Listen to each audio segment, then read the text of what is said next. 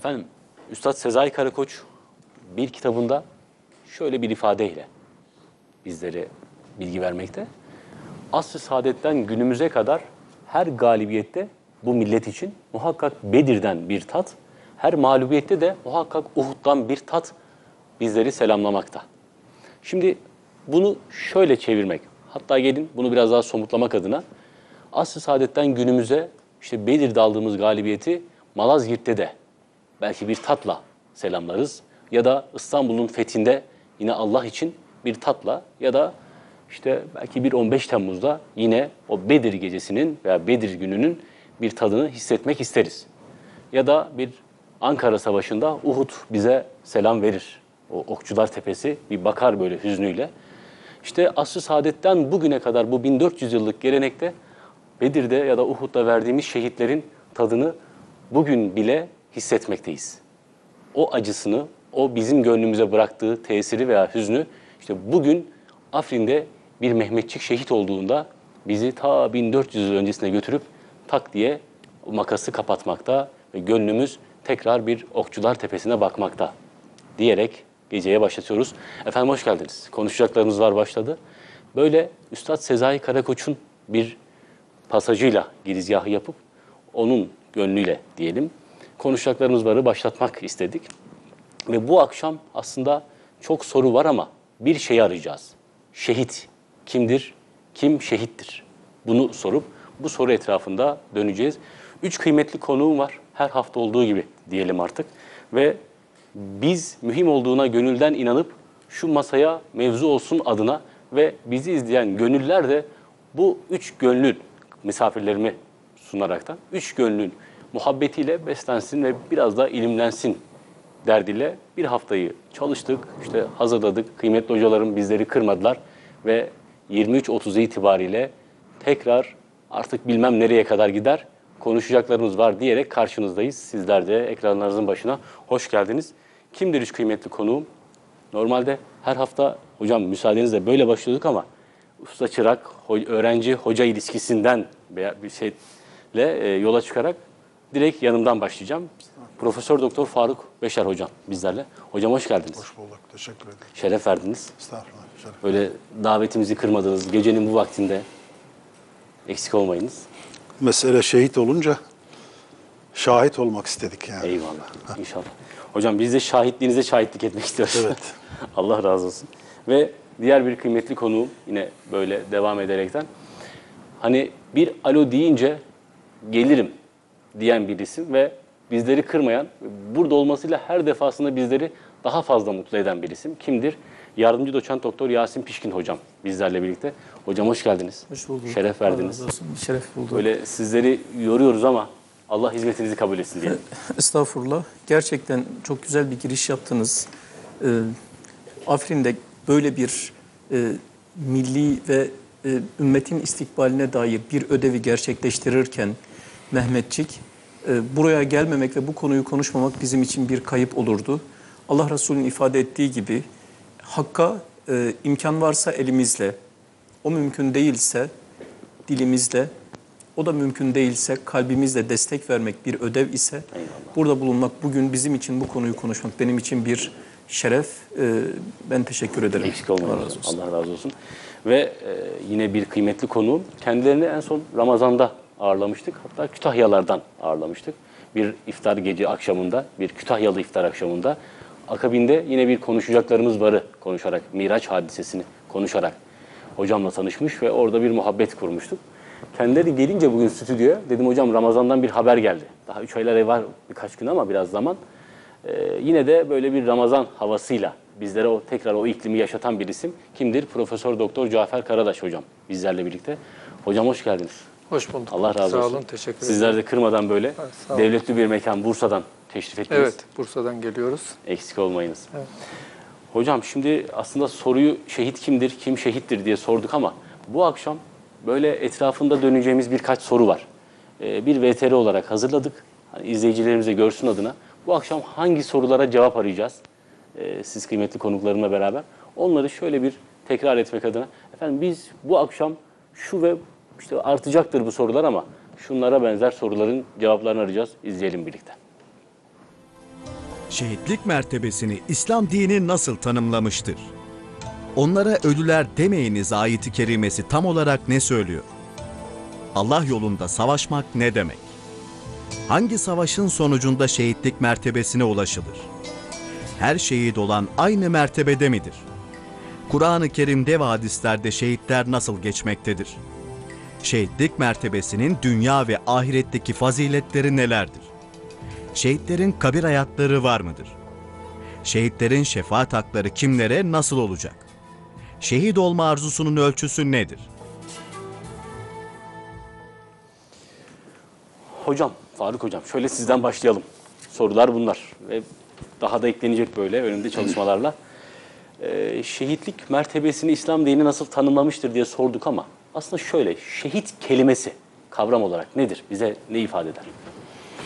Evet, Bismillah, elhamdülillah, salatu vesselamu ala Resulillah.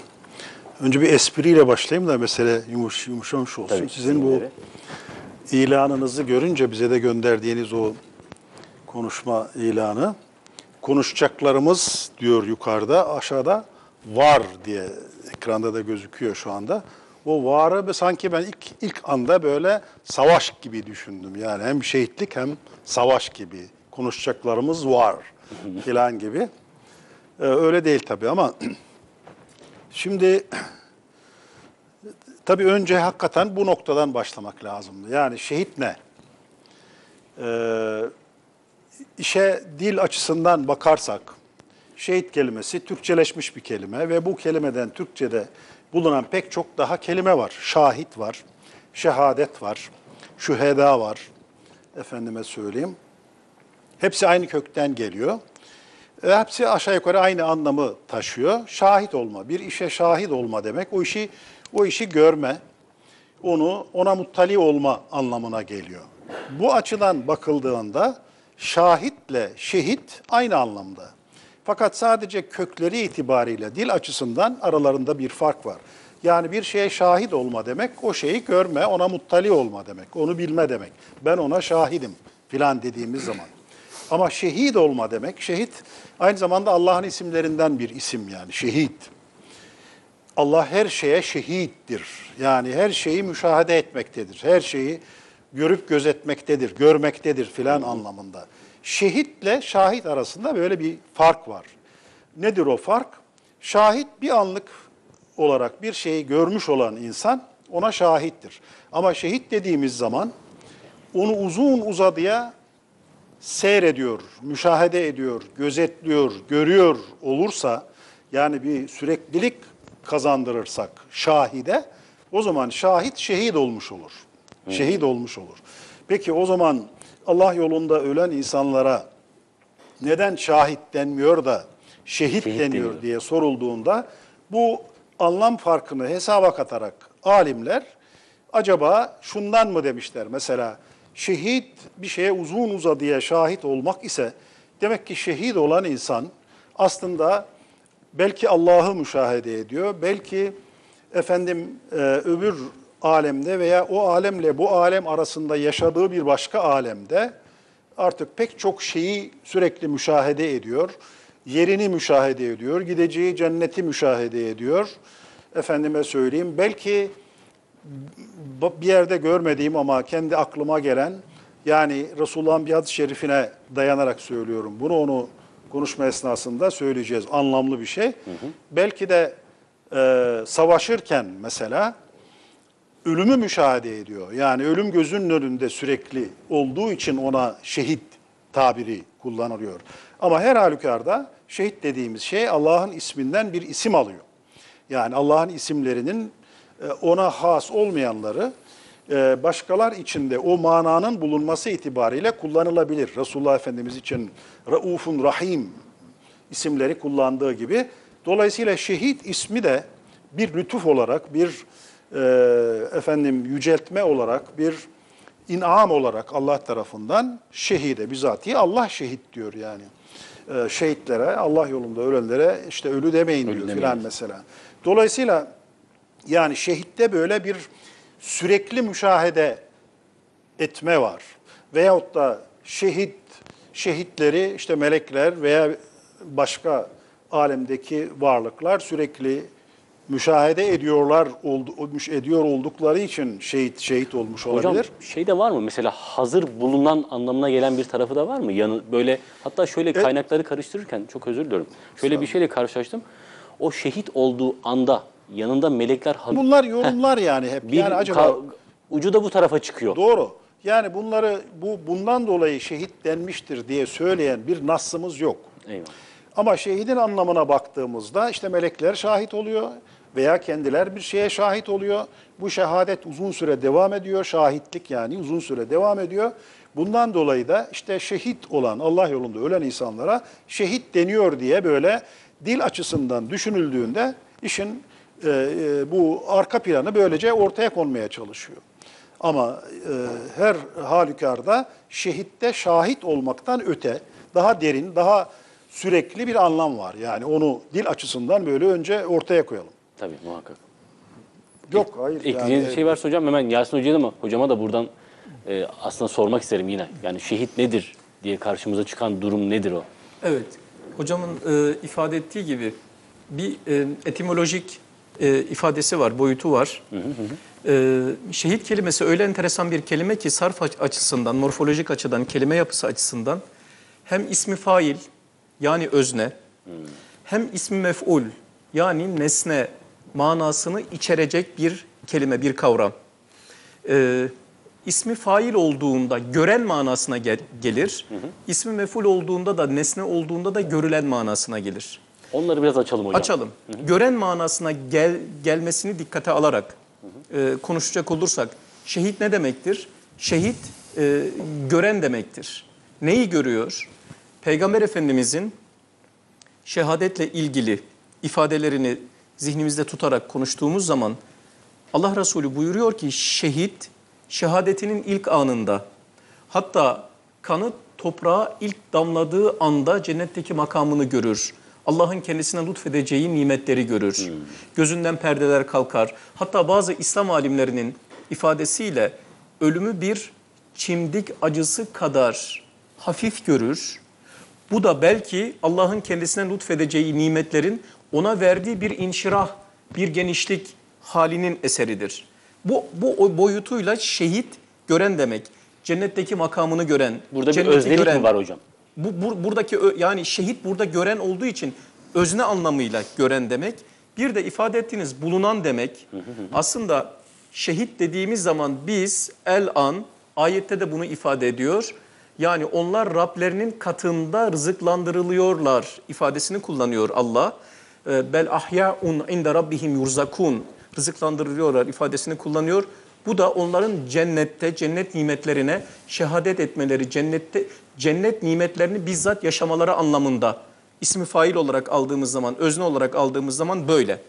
Görülen anlamına aldığımız zaman, gören değil de görünen anlamına aldığımız zaman meleklerin cennete girmelerine, cennetlik olduklarına şehadet etmeleri, onları cennetlik olarak görmeleri manasını içeriyor. Meleklerin şehidi görmesi. Yani meleklerin onu cennetlik olarak görmesi. Bu adam cennetliktir diye ona şehadet etmesi. Çünkü şehit demek meşhut demektir. Yani kendisi adına şehadet edilen kimse manasına da gelir. Hatta e, bir e, şehidin başında ağlayan yakınlarına Peygamber Efendimiz onlara teselli ederken buyuruyor ki e, ağlamayın kendinizi çok fazla tarumar etmeyin. Melekler kanatlarıyla onları gölgelendiriyorlar ve onların cennetlik olduğuna şehadet ediyorlar buyuruyor Peygamberimiz.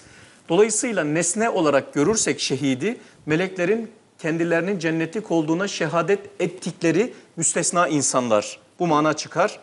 Bir de İslam alimleri diyorlar ki şehiden için şehit denmiştir. Çünkü e, toprak, arz onun cennetlik olduğuna şehadet edecek. Arzın bir dili vardır, arzın bir şehadeti vardır. Hatta Estaizu billah Zilzal suresinde Allah buyurur ki yevme izin tuhaddisu ahbaraha bi enne rabbeke evhaleha. Kıyamet günü Allah yeryüzüne konuş der, yeryüzü konuşur, üzerinde insanların yaptığı amelleri bir bir zikreder, anlatır, söyler. Dolayısıyla e, şehide şehit denmiştir. Çünkü arz onun şehadetine, onun cennetlik olduğuna şahitlik ettiği için denir. Dolayısıyla mesela Allah için de kullandığımız zaman bu kavramı şehit dediğimiz zaman evet gören her şeyi yani simsiyah bir gecede simsiyah bir kayanın üzerinde simsiyah bir karıncayı gör, gören Allah, o ilme sahip olan Allah manasında ismi fail olarak aldığımız zaman, ismi mef'ul olarak aldığımız zaman yani nesne olarak aldığımız zaman da Allah görülendir. Yani eserleri, alametleri, izleri, varlığının delilleri devasa kozmik bütünlüklerden en düşük, en hasis varlıkta bile vellezî ahrecem ahrecel mer'a mer'a yani Allah e, topraktaki otu çimeni bile bitirendir. Bakmasını bilen için, görmesini bilen için Allah bir çimende bile bir sineğin kanadında saltanat süren kuvvettir Allah. Görmesini bilen için orada bile görülen manasına geliyor. Hocam şunu sormak isterim. Devam edelim ama şimdi şeyden dolayı hani izleyici de biraz daha kafasında mevzuyu temellendirsin adına. Şimdi normal biri öldüğünde o ölüm anıyla şehidin o şahit olduğu an arasındaki somut farklılıkları aslında anlatıyoruz ya. Hani onun cennet kapılarını veya cennetteki makamını görecek olması. Peki normal biri onlara şahitlik etmiyor ama değil mi? Yani biri o an mesela tam ruh bedenden ayrıldı işte o Azrail'in geldiği anda şahitlik dediğimiz husus normal bir ölümde yok. Bunu Evet. anlıyoruz değil mi? Yani şöyle tabii bir insan vefat ettiğinde Heh.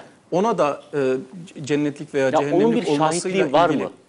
E, şöyle ifade edelim yani buradaki şahitlik yani şehit olması, şa- şehidin şehit olarak isimlendirilmesi aslında bizim tabii ölüm e, transandantal bir hadise, metafizik bir hadise. Bizim maddi olarak tecrübe sınırlarımızın dışında kalan bir hadise. Bunu bizim e, bizzat bir insanın başka bir insanın müşahede etmesinin imkanı yok. Peygamber Efendimizin müşahedeleri söz konusu Cafer bin Tayyar, e, Cafer bin Ebi Talip'le ilgili. Ama bunlar çok özel şeyler. Bu müşahede üstü bir şeydir. Burada e, şehidin haline şehadet meleklerle ilgili bir şey olarak e, zikredilmesi gerekiyor. Yani şehit e, cennetlik olduğuna meleklerin şehadet ettiği, şahitlik ettiği müstesna insan, canını feda etmiş insan demektir yani. Eyvallah. Cafer hocam. Hocam size de aynı soruyu sorayım. Sorup böyle mevzuyu oradan açmak istiyorum. Şehitlik dediğimiz şey. e, neden şehit? Yani şehide hani çok basit aslında basit gibi ama ona neden şehit dedik? Yani şehitlik kavramı öyle görünüyor ki ben e, bizim kitaplarda dikkatimi çekti. Mesela Bedir Harbi ile ilgili sonucunda çok şehitlikten bahsedilmiyor. En çok şehitlikten bahsedilen harp Uhud Harbi. Ben hatta Uhud Harbi'ni o anlamda şöyle düşündüm. Yani şehitliğin kitabının yazıldığı yer gibi. Niye? Çünkü orada bir karmaşa var bir de çok büyük bir kayıp var. Şimdi Bedir Harbi'nde Müslümanlar ee, 14 tane şehit vermişler. Bir de üstünler, galip. Ee, o şehitlerine sonra nasıl muamele etme konusunda hiç sıkıntıya düşmemişler. Çünkü 14 kişi zaten galip gelmişler. Dolayısıyla bir şey var. Orada pek sıkıntı yok. Fakat e, Uhud Harbi'ne baktığımızda tam galip gelecekken Müslümanların çok ciddi bir yenilgisi söz konusu orada. Ve 70 kişi vefat ediyor. Ee, ve bu 70 kişiyi nasıl defnedecekleri konusunda da bir şeylik yaşanıyor orada. Ve orada aslında bir şehitlikle ilgili bütün hükümler zannediyorum, hocam benden daha iyi bilir. Şehitlikle ilgili bütün hükümler orada tesis ediliyor sanki. Ee, orada ortaya çıkıyor. Şehitler nasıl defnedilecek, nasıl olacak falan diye. Fakat orada bir şey var benim dikkatimi çeken. Bu e, demin e, Yasin Bey'in de okuduğu ayet-i kerime Estağfirullah bu şehitlikle ilgili en çok okuduğumuz La tahsebennellezine kutilu fi sebilillahi envat. Yani siz e, şehit olarak ölmüş kimseleri ölüler olarak Tabii. şehit olmuş kimselere ölüler olarak bakmayın. Ölüler zannetmeyin onu.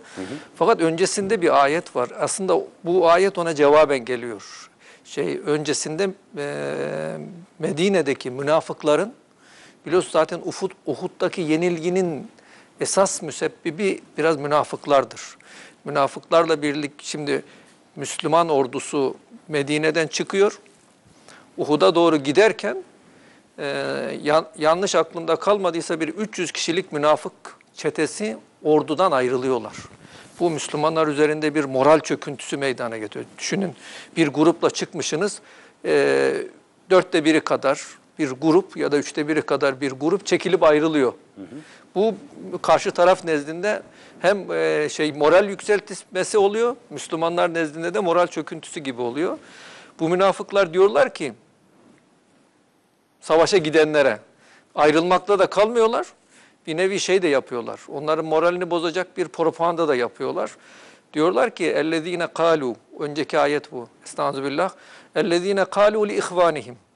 Kendi kabilesinden olan insanlara derler ki ve kaadu kendileri oturdukları halde yani savaşa gitmedikleri halde lev eta'una ma kutilu.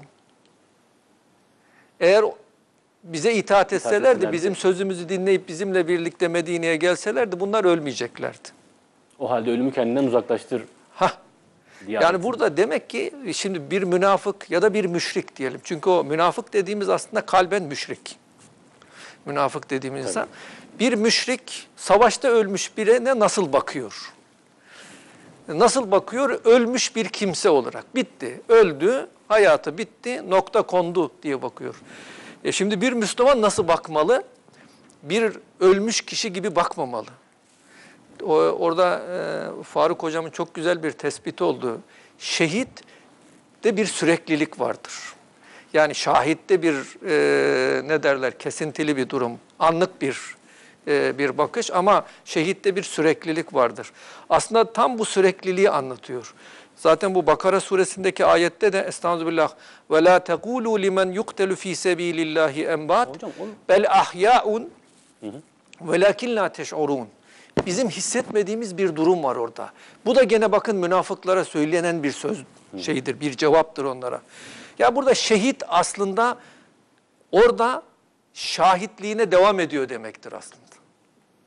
Orada bulunmuşluğuna ya da o savaştaki duruma nokta konmuş değil. Belki bir virgül atılmış ve devam eden bir durum söz konusu. Devam eden durum ne? Mesela buradaki o ahya kelimesini açıklarken birçok alimimiz diyor ki buradaki ahya bir dünyadaki yaşantı gibi düşünmeyin diyor. Bu iki türlüdür. Bir kabirde cennet nimetiyle nimetlenmesi. O öldürülmemeleri mevzusu. Tabii tabii burada işte ha yani ölmüş bitmiş bir durum yok. Tabii. Bunlar kabire girmiş olsalar bile orada Allah'ın cennet nimetiyle kabirde cennet nimetiyle nimetlenecek. İkinci bir durum şudur diyor. Bu kimse eğer yaşasaydı ve sürekli savaşsaydı ne kadar sevap kazanacaksa kıyamete kadar bunun defterine o sevap yazılacaktır. Dolayısıyla bakın o süreklilik devam Ha, etmiş ben o oluyor. sürekliliği aslında biraz açmak istiyordum hocam. O orada neyi kastettiğinizi soraraktan. Hani süreklilik derken şehitliğin nedir o süreklilik? Yani o sürekliliği sadece kelime anlamından hareketle söylüyoruz. Sürekli şehide neden şehit denmiş? Onun sürekli müşahede ettiği bir şey var. Veya o sürekli bir şekilde müşahede ediliyor. Arkadaşın dediği gibi ister fail olarak alın, ister mef'ul olarak, olarak alın.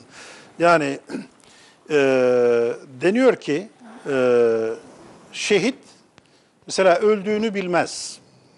O farklı bir hayat düzeyinde yaşıyor böyle hat- hayat düzeyini 5'e, 6'ya, 7'ye kadar çıkaran düşünceler vardır. Yani bizim yaşadığımız sıradan her türlü bir takım suya, ekmeğe, havaya ihtiyacı olan bir hayat. İşte efendim işte e, Hazreti, Hazreti İsa'nın yaşadığı bir hayat, şehitlerin yaşadığı bir hayat, Hızır'ın yaşadığı bir hayat şeklinde böyle hayat kademeleri olarak anlatırlar. Şimdi şehitlerin de demek ki cennet hayatıyla dünya hayatı arasında yaşadıkları bir hayat seviyesi var. Farklı bir kademe var. Ve o kademede aslında cennet nimetleriyle nimetleniyorlar. Ve öldüklerinden haberleri yok. Sadece ve sadece olan şey dünyadaki bizim çektiğimiz sıkıntılar, üzüntüler vesaireleri artık onlar yaşamıyorlar.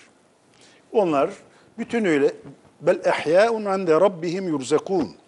İşte onlar diridirler, Rableri katında rızıklanıyorlar yani sürekli rızıklanıyorlar. Hocam bu Ve rızıklanma- bu süreklilik işte o şehit olma özelliğini ortaya çıkarıyor. Yani şehit denmesi yani böyle bir e, hayata sürekli şahit olmalarını anlatıyor bize yani.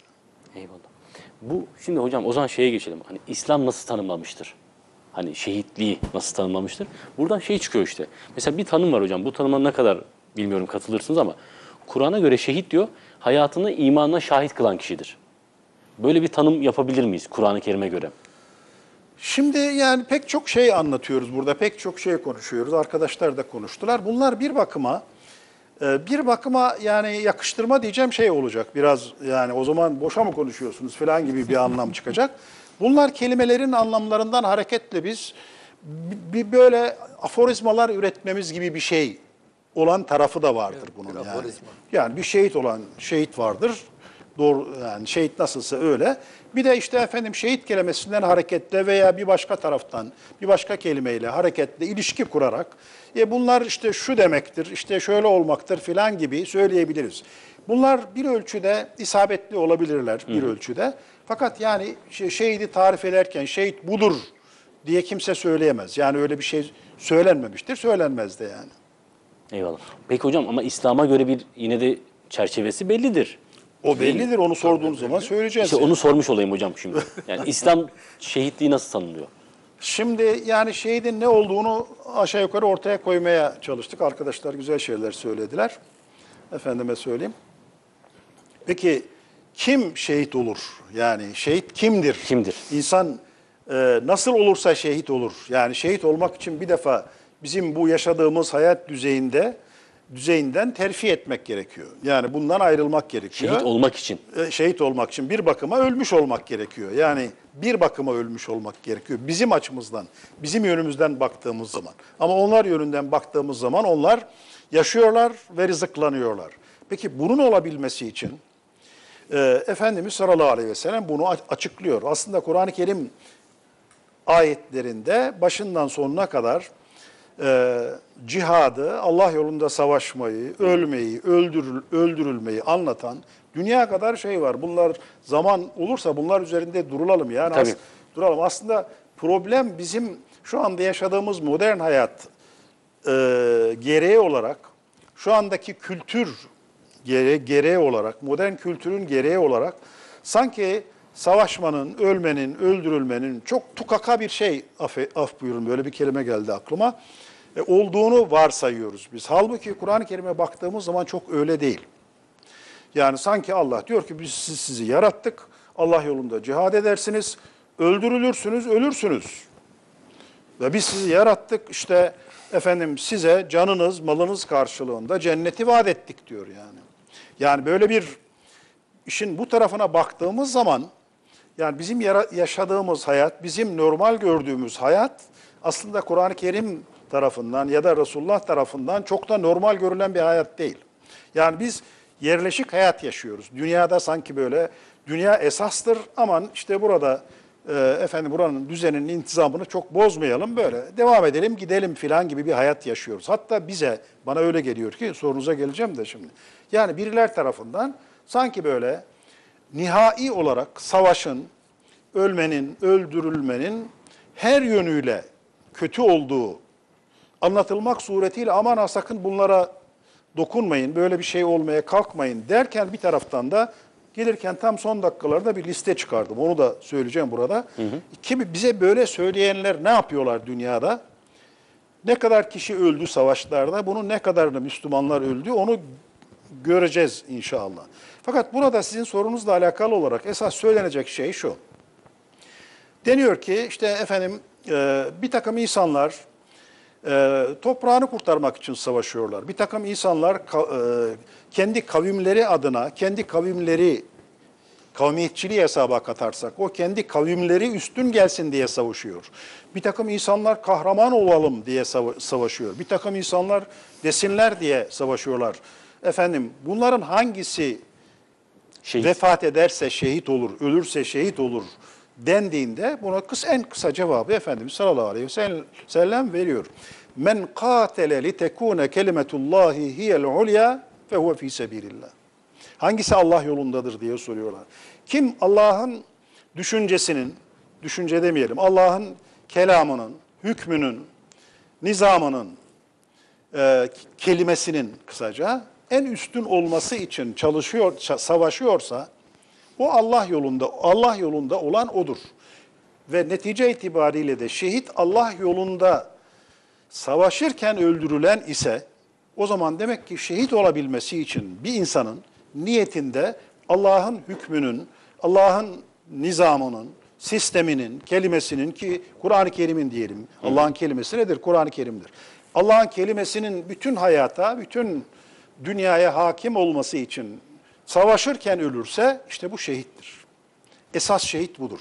Ama ondan sonra Efendimiz sallallahu aleyhi ve sellem sadece bundan ibaret değil diyecektir. Yani bana arkadaşların çok zamanını almamak için oraya girmeyeyim isterseniz. Gireyim mi? Oraya gireceğiz hocam. Oralara daha soracağım onlarla alakalı. O zaman bu kadarla yetinelim öyleyse. Arkadaşlara devam edelim. Tamam yani şey değil hocam. Bu arada bir şey gelirse katılım sağlayalım. Böyle soru soru gidiyoruz gibi oldu ama hani o muhabbeti oluşturalım hocam. Onu başta Yok, aslında hocam, hocam iyi gidiyordu. Biz onu iyi dinliyorduk böyle yani. yani şey olmasın Ee, böyle. özlemişiz de artık hocam o eski dersleri. O zaman şöyle söyleyeyim madem öyle. Yani burada yaş itibariyle arkadaşlar bize biraz şey tanıyorlar herhalde öyle söyleyelim. Şimdi yani benim dikkatimi çeken noktalardan bir tanesi yani mutlak anlamda şehit dediğimiz zaman Allah için savaşırken ölen adamdır. Bir defa bunu ortaya koyalım. Bu her zaman olabilir. Yani şu anda da olabilir. Yani şu anda Afrin'de, şurada burada bakıyoruz ki insanlar mesajlar çekiyor. Oradaki şehit olan kardeşlerimiz inşallah şehittirler. O ayrı bir şey. Bir de önemli olan noktalardan bir tanesi de şudur. İster bir İslam devletinde, ister bir gayri İslam devletinde, ister Resulullah'la beraber savaşırken ölen bir adam bu kesin şehittir hükmünü kimse veremez. O da ayrı bir şey yani. Onu Allah bilir. Bu dini noktayı nazar. Evet, biz genel Hocam. prensipleri söyleriz. Genel prensip budur. Hatta Resulullah Efendimizle beraber savaşırken bile birisi yara alıyor artık o zamanki şartlarda, imkanlarda artık öleceği anlaşılıyor. Arkadaşlar ona teselli veriyorlar. Efendim ne güzel ya işte endişe etme şimdi şehit olacaksın gidiyorsun filan diye. Ee, Resulullah Efendimiz uyarıyor o insanları. Nereden biliyorsunuz şehit olacağını diyor. Yani nereden haber mi geldi size bir taraftan? Böyle bir şey mi var? İnsan, o insan inşallah yine şehit gitmiştir bilmiyoruz ama Biz gözlerini hocam açıyor. zahire göre hükmettiğimiz için Evet biz zahire göre hükmederiz. Yani bizim prensibimiz bu. Diyor ki gözünü açıyor diyor ki evet yani ben Allah için falan gelmedim açıkçası diyor bu savaşa. Hangi savaşsa bilmiyorum. Ben diyor Medine'de çok değerli hurma bahçem vardı. O hurma bahçem elden çıkabilir. Yani buranın biz buralı insanlar olarak galip olmalıyız filan diye. Ben bahçemi korumak için geldim arkadaş diyor. Bahçemi korumak için. Onun için yani Allah için diye bir şey düşünmedim. Fakat tabii bunun öbür tarafı var hemen yani buna bağlı olarak. Peki bir insan bahçesini, ülkesini, vatanını, malını, mülkünü korurken de Allah için diye bir şey düşünemez mi? tabii ya bunları dengeleyemez Evet, mi? den, düşünebilir. O zaman bunu nereden öğreniyoruz? Bunu da şuradan öğreniyoruz. Resulullah Efendimiz bir gün soruyor arkadaşlarına. Sizce diyor, yani tabii öğretmiş insanlara önce biliyor. Resulullah'ın eğitiminden geçmiş olan insanlar. Sizce şehit kimdir diyor. Onlar da diyorlar ki ya Resulullah şehit işte Allah için savaşırken ölen insandır. Resulullah Efendimiz de buyuruyor ki o takdirde benim ümmetimden çok az şehit olur. Sadece bu kadar değil diyor. Sayıyor 7 8 9 sınıf sayıyor. Onlara da geleceğiz ama onlardan mesela bir tanesi şu. Men e, men kutile dune malihi fehuve şehidun. Ve men kutile dune ardihi fehuve şehidun.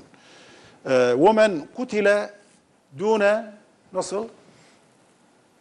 Dune Böyle birkaç malihi, şey sayıyor. Dune malihi, dune ardihi, dune ne, e, e, nefsihi filan. Bunlar için savaşıyor adam bunları korumak için. Hocam onları bir onlar nedir peki? Yani onları Yani bir insan malını, mülkünü, ona siz vatanı da söyleyebilirsiniz. Allah Allah için olma niyetini bunlara eklemek suretiyle. Korumak için yani diyelim ki işte herhangi bir ülke olsun, A ülkesi olsun. İslam'dan uzak bir ülke olmuş olsun ama İslam orada serbest olsun. İst- Müslümanlar orada serbestçe yaşayabiliyorlar. Müslümanca yaşayabiliyorlar. O ülkeyi korumak için savaşıyor adam. Ama niyeti ya Allah için burayı koruyalım da yani burada bakın İslam e, güzel yaşanıyor. Daha da güzel yaşanacak inşa, inşallah. Biriler burayı istila etmesinler. Biriler burayı almasınlar ve burayı biz bu vatan olarak burayı korumuş olalım diye böyle bir düşünceyle savaşırsa ama Müslüman olmayan bir Müslüman olmayan bir ülke dahi olmuş olsa ama tabii Müslüman olmayan ülkeyi niye koruyacaksınız? Ee, Şunun için koruyacaksınız. Ya burası yani bizim istediğimiz anlamda herhangi bir ülke diyelim yani. Tam bir Allah'ın dininin, şeriatının uygulandığı bir ülke değil. Fakat burada İslam yaşanıyor. Burada İslam'ın yaşanmasına müsaade ediliyor. Bu kadarı da bizim elimizden çıkarsa bu kadar da yaşayamayız. O zaman burayı bizim korumamız lazım. Allah için korumamız lazım diye düşündüğü zaman o zaman böyle bir niyet de insanı şehit yapar. Velev ki orada hani bazı insanlar derler ki ya arkadaş işte şehit İslami bir kavramdır. Ha, önce bunu da söyleyelim. Yani şehit İslam'ın bir kavramıdır. Ee, yani dini bir kavramdır. Öbür alem boyutu olan bir kavramdır. Onun için e, birilerinin dediği gibi devrim şehidi olmaz, demokrasi şehidi olmaz. Bilmem e, efendim f- e, spor şehidi, futbol şehidi olmaz. Şehit şehittir. Neyse odur. Önce bunu bilmemiz lazım. Tabii bir koymamız lazım hocam. Efendim. Devam edelim mi? Hocam Yasin hocama buradan aslında bir pas atıp hocam siz girmiyorsunuz mevzuya ben açacağım buradan. Buyurunuz. Aynı soru hocam. Şehit kimdir? Evet. Şimdi tabii e, hocam çok e, açık bir şekilde ifade etti. Net bir tanımı var. Bu şehit dediğimiz zaman aslında İslam alimleri bunun birkaç e, kısma ayırıyorlar. E, sadece dünyevi e, hükümler açısından şehit olan kimseler var. Tabii. Bunun, bunun örneğini hocam verdi. Yani Peygamberimiz bir hadisi şerifte buyuruyor ki فَلَافَةٌ تُسَعَّرُ بِهِمُ النَّارِ Üç kişi vardır ki bunlar cehennemin çırasıdır. Ee, cehennemin ateşi bunlarla e, açılacak, bunlarla yakılacak. E, işte bir alimden bahseder Peygamber Efendimiz. Allah'ın huzuruna getirilir. Allah ona sorar. Bu kadar ilmin için talim ettin, talum ettin diye. O da der ki Allah'ım senin rızan için, senin dinin yüce olsun diye. Allah der ki yalan söylüyorsun. Sen insanlar senin için senden sonra ne kadar bilge bir insan desinler diye. Onun bağının üstüne bağ vurulur ve ateşe atılır. Bir zengin getirilir. O da yine benzer şeyler söyler. O da insanlar ne kadar cömert insan desinler diye yapmıştır bu işleri. Bu kadar infakı. Sonra bir şehit getirilir. Peygamberimiz böyle buyuruyor. Ve Allah ona da sorar. Sen canının için e, feda ettin.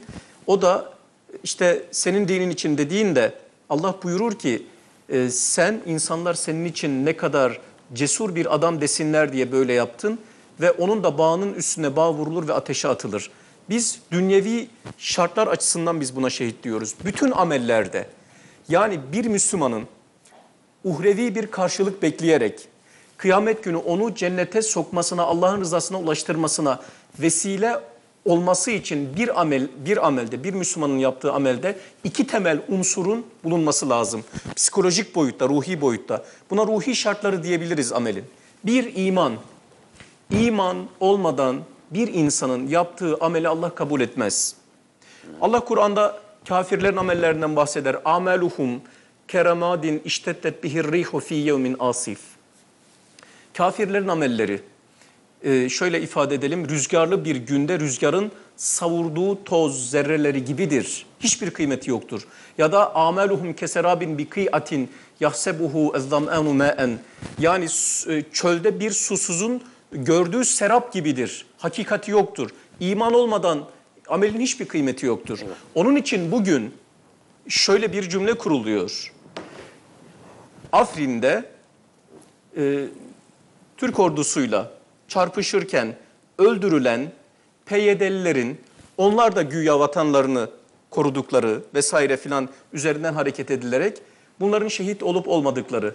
Yani e, şöyle ifade edelim e, ne zamandır e, Si- Si- Siyonist mantığın içerisinde cirit atan insanlar ne zamandır Allah'a iman etmeyen, hiçbir şekilde Allah'ın varlığına itikat etmeyen insanlar şehit oluyor, şehit olarak isimlendiriliyor. Hocamın ifade ettiği gibi iman olmadan hiçbir amelin şehadet de dahil olmak üzere Allah'ın katında bir makbuliyeti yoktur. Hocam burada bir ara soru sorabilir miyim? Ama şunu tamamlayayım. Tamam, tamam. İmanın yanında bir de ihlas. İman bir ameli kurtarmaya yetmez. Fiili olarak bir mümin, bir Müslüman bir ameli yaparken o işi Allah'ın rızasını gözeterek yapmış olması lazımdır. Bu kıldığı namaz için böyledir. Bu yaptığı infak için böyledir. Bu şehadet için de böyledir. Biz buna eğer bu şartları taşımıyorsa evet Peygamber Efendimiz buyuruyor ki rubbe katilin beyne saffeyni vallahu alemu bihalihi. Yani iki saf arasında öldürülen nice insan vardır ki halini Allah bilir. Yani bir görülebilir ama şehit olmayabilir. İman olmadan şehadet olmaz. İhlas olmadan şehadet olmaz. Biz bunlara dünyevi şehit diyoruz. Biz nahnu nahkumu biz zavahir. Zahire göre hükmederiz. Evet, batını Allah bilir. Allah kıyamet günü biraz önce ifade ettiğim hadiste işaret edildiği üzere onların niyetlerine göre onları sorgulayacak olan Allah'tır. Bir de e, sadece ahiret şehidi dediğimiz bir kavram vardır ki bunlar hocamın biraz önce ifade ettiği mesela men kutile li ecli malihi fehuve şehidun buyuruyor peygamberimiz. İşte malını savunurken ölen, daha sonra mesela işte bir, bir takım şiddetli hastalıklardan, rahatsızlıklardan ölen de peygamber efendimiz tarafından şehit olarak ifade ediliyor. Bu olarak ölen, göçük altında ölen filan çok geniş kavramsal bir genişleme görüyoruz biz bu- buralarda. Biz bunlara da uhrevi şehit, ahiret şehidi diyoruz. Bizim Şehit dediğimiz zaman aklımıza gelenler bunlar iki, ikincil olarak bizim aklımıza geliyor. Bizim doğrudan şehit kavramını kullandığımızda aklımıza gelen hem dünyevi hem uhrevi şehittir ki bu şehit Allah yolunda bu kavramı açmamız lazım yalnız. Sebilullah kavramını.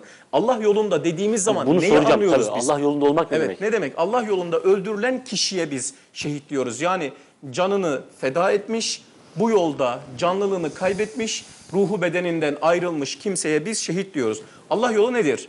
Hocam onu geçmeden bir şey sorabilir miyim? Bu imanla alakalı. Şimdi mesela okumalarda şöyle bir şey karşımıza geliyor tarih okumalarında.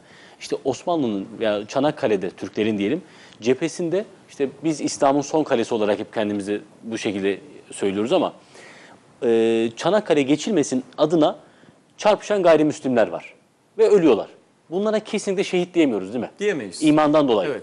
İman ve ihla yani iman elbette ki iman olmadığı için zaten ihlasın varlığından bahsedemiyoruz. Ama bunlar elbette ki uhrevi açıdan yani bulundukları konum itibariyle iman etmemiş olmalarına rağmen olumlu bir yerde, olumlu bir safta, olumlu bir iş yapmalarının da belki semeresini e, farklı bir boyuttan elde edecekler. Bu çok ayrı bir konudur.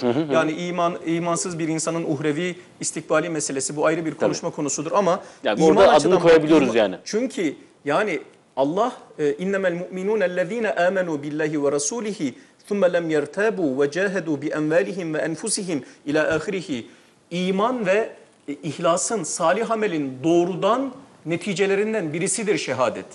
Yani insan şöyle ifade edelim. e, şehit dediğimiz kişi hayata, doğuma, ölüme, öl- ölümle yaşamın arasındaki sürece, kabre, kabrin ötesine normal bir gözle bakmayan, imanla bakan insan demektir. Yani iman olmadan dolayısıyla şehadetin e, anla, anlam, anlam ve amacı söz konusu değildir. Şehadet gerçekleşmiş olmaz yani. Bunu Eyvallah. ifade etmek istiyorum. O Allah yolunda dedik hocam. Hani Şöyle- şöyle aslında ifade orada edelim. şey o- hocam şimdi birkaç ayet-i kerimeyle aslında devam edelim. Şimdi isterseniz bu buraya ek Tabii, ba- tabii, bağlamdan bir şey söyleyeyim. Lütfen Cafer hocam. Hoca'ya geçmezden önce. Estağfurullah hocam, Bunun buyurun. çok söyleyecekleri vardır. Yani arkadaşı teyiden ve onu destek babından Resulullah Efendimiz sallallahu aleyhi ve sellem bir hadis-i şeriflerinde buyuruyorlar ki önce şöyle bir hadis-i şerif var. Ee,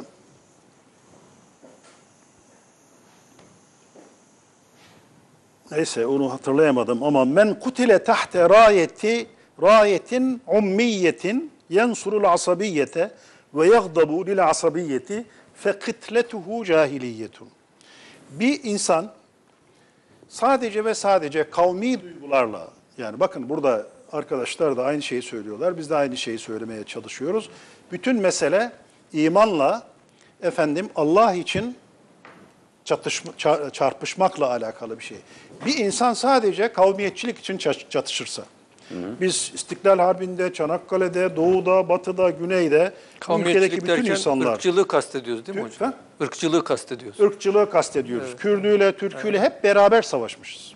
Tabii. Şu anda da beraber savaşıyoruz. Ama bir takım insanlar sadece bir kavim adına din, iman filan hiçbir şey olmadan bir kavmiyetçilik hesabına çatışıyorlar, çarpışıyorlar. Onların şehit olması mümkün değil. Yani ki Efendimiz sallallahu aleyhi ve sellem asabiyet uğruna savaşanlar bizden değildir diyor. Asabiyet ne demek?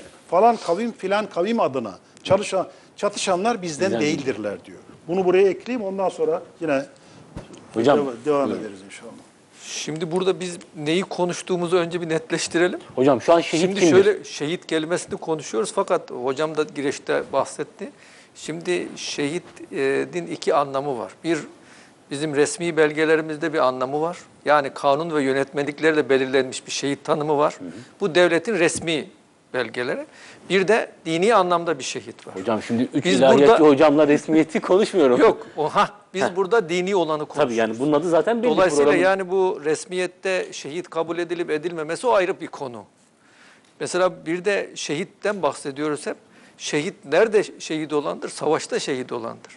Dolayısıyla savaşa katılan kişi gazidir. Halbuki bizim resmiyette gazi olabilmesi için bir insan savaşa gidip yaralanmış olması filan ya da sakat kalmış olması gerekiyor. Halbuki bizim dini anlamda gazi dediğimiz savaşa katılmış olan herkes gazidir. Dolayısıyla insanlar savaşa katılmakla zaten bir fazilet sahibi olmuş oluyorlar. Nitekim sahabenin fazilet sıralaması yapılırken Hangi savaş diye soracağım ama. onu diyeceğim işte bakın. Sahabenin fazilet sıralaması yapılırken sıralamada ilk sıraya Bedir Harbi'ne katılanlar. Bakın Bedir'de şehit olanlar denmiyor. Şehit olan zaten o katılanın bir üstünde. Şimdi onun iki tane fazileti var. Bir, Katılmış. katılmış, gazi olmuş. İki, canını feda etmek suretiyle bir de şehit olmuş. Dolayısıyla bir üst mer- zaten onun için der- denir ya şehitlik peygamberlik mertebesinden hemen sonra gelen bir mertebedir. Bu dini anlamda söylüyoruz tabii. Öyleyse burada gazilik önemli bir husus. Savaşa katılmış olmak. Savaşa katılıp da canını feda etmişse tabii burada e, nedir biz savaşa katılıp canını feda etmiş olan herkesi biz şehit kabul ederiz. Neye göre? Zahire göre. Tabii zahire göre. Çünkü öbür tarafını bizi bilmez. Bizi de ilgilendirmez zaten.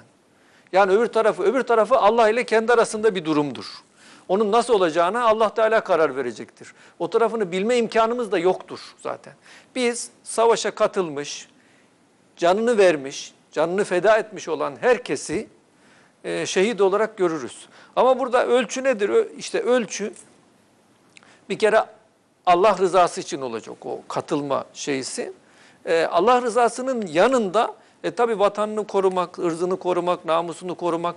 Çünkü insan bu dünyada yaşarken e, şunu hesaba katmamız gerekiyor. E, biz niçin yaşıyoruz? Allah Teala bizi dünyaya göndermiş, kulluğumuzu ispat etmemiz gerekiyor. E kulluğumuzu ispat etmenin yolu da Allah'ın emrettiği şeyleri yerine getirmektir. Allah'ın emrettiği şeyleri yerine getirebilmemiz için onun ortamının oluşması gerekiyor. Onun ortamı nedir? Özgür bir şekilde, hiç kimsenin müdahalesi olmayacak bir şekilde bir yerde yaşamaktır. Eğer orada o yaşama hakkımız elimizden alınacaksa, onu elimizden alacak olanlara karşı mücadele etmemiz gerekiyor. Hocam burada tam çok önemli bir şey açıldı. Hah. İşte şehitlikten önce o zaman şuna da bakmamız lazım. İslamiyet hangi durumda savaşa müsaade ediyor? Yani o savaşın o hani İslamiyet'in ve Allah'ın müsaade ettiği savaş ve o savaştan elde ettiğimiz ölüm yani şehitlik dediğimiz durum. Öyle değil mi? Yanlış mı anlıyorum ya da? Şimdi işte ha or- oraya geleceğiz. Yani buyurunuz. orası oraya gelirsek savaş aslında bir zorunluluk ya da ihtiyaçtır. Savaş bir şey değildir, normal bir durum değildir. İslam'da istenen bir durum da değildir, arızi bir durumdur. Aslında İslam'da istenen şey barıştır. Zaten İslam'ın en çok yayıldığı dönemler de barış dönemidir, savaş dönemi değildir. Şimdi batıda bir algı oluşturuluyor. Özellikle müsteşrikler tarafından ve batılılar tarafından bugün hani Müslümandan terörist çıkartmaya çalışıyorlar ya. Eskiyi de şöyle yorumlamaya çalışıyorlar. Diyorlar ki bu İslam kılıç zoruyla, savaş zoruyla yayılmış bir dindir diyorlar. Halbuki Hazreti Peygamber dönemine baktığımızda savaş döneminde değil İslam'ın en çok yayıldığı dönem barış dönemindedir. Hudeybiye Barış Anlaşması'ndan sonraki o sükunet döneminde İslam muazzam yayılmıştır.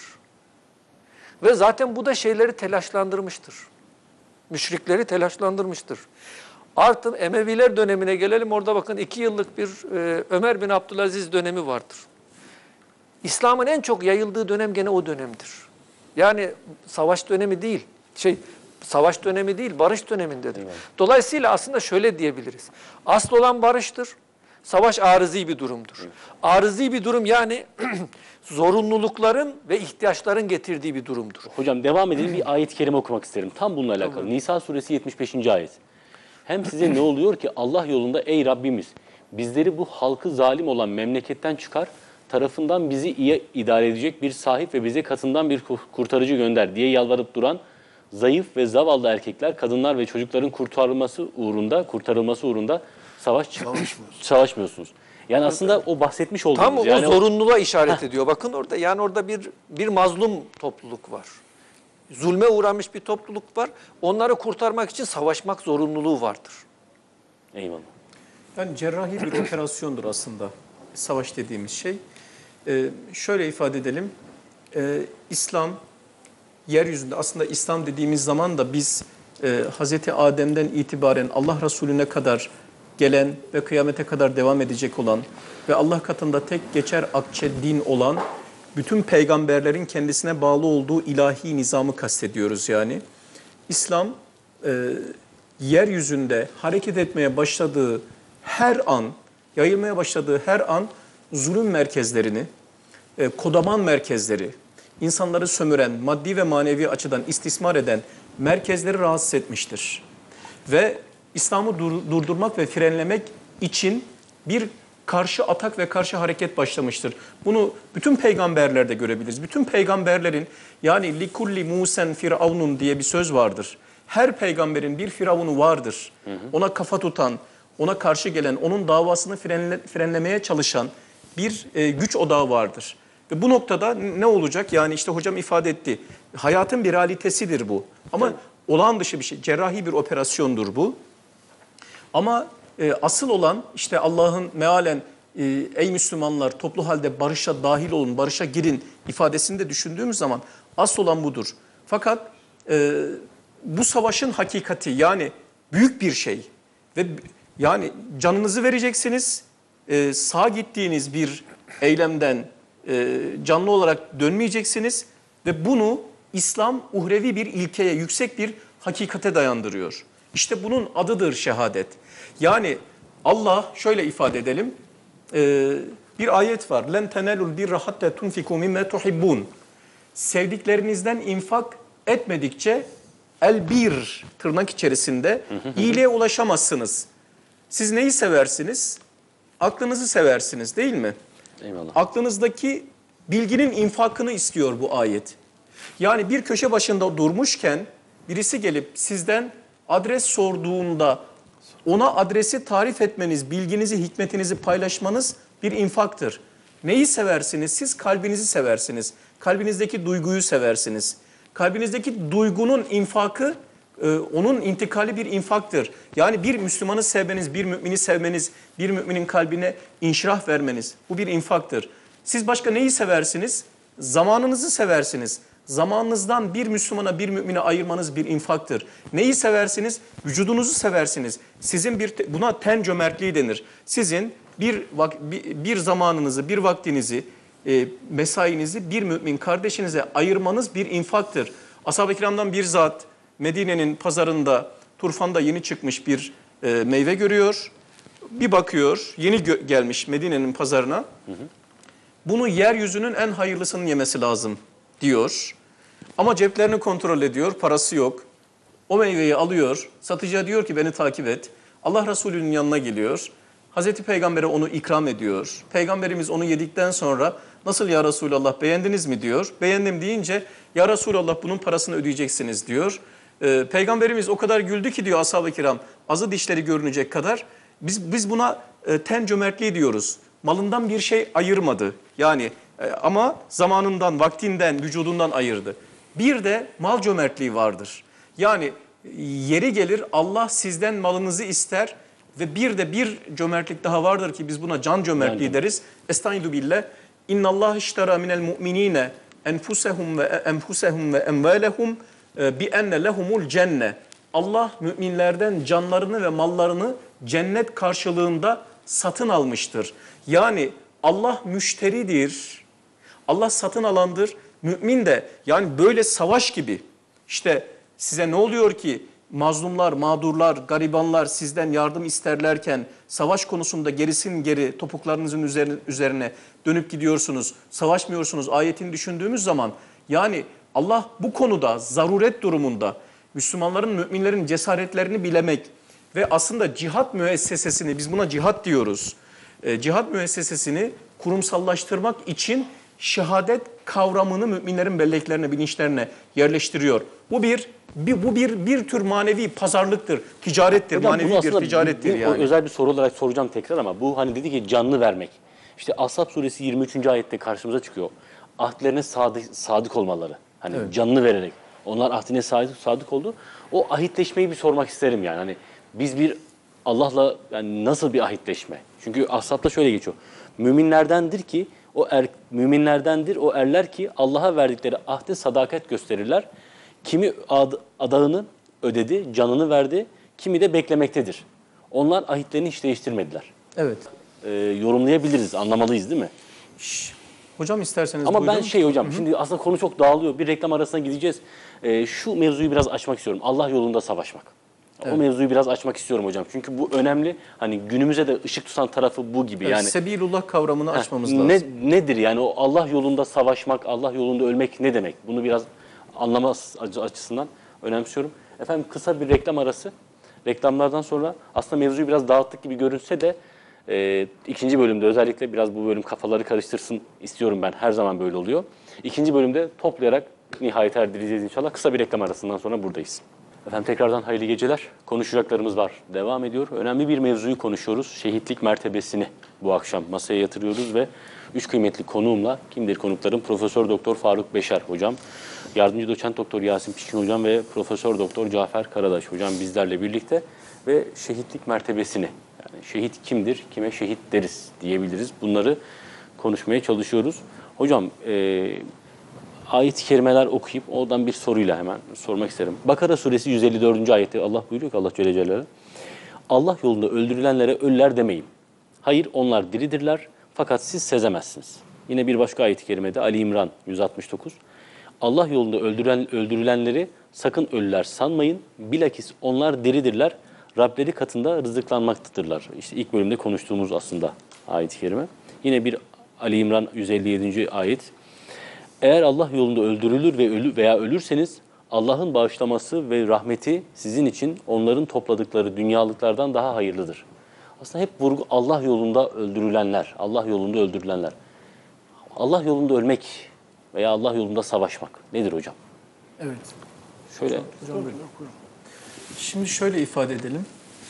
Ee, tabii Allah yolunda dediğimizde e, İslam'ın e, ilk ortaya çıkışıyla birlikte aslında İslam'ın e, bütün e, kutsal kitaplarda, bütün peygamberlerin e, şöyle denir, makasada hamse denilen bir şey vardır. İslam malı, canı, aklı, nesli, namusu, ırzı hatta güvenliği korumak için gelmiştir. Yani e, İslam'ın temel hedefi budur ve bunlar insanın varlığını devam ettirebilmesi için gerekli olan uzuvlar gibidir.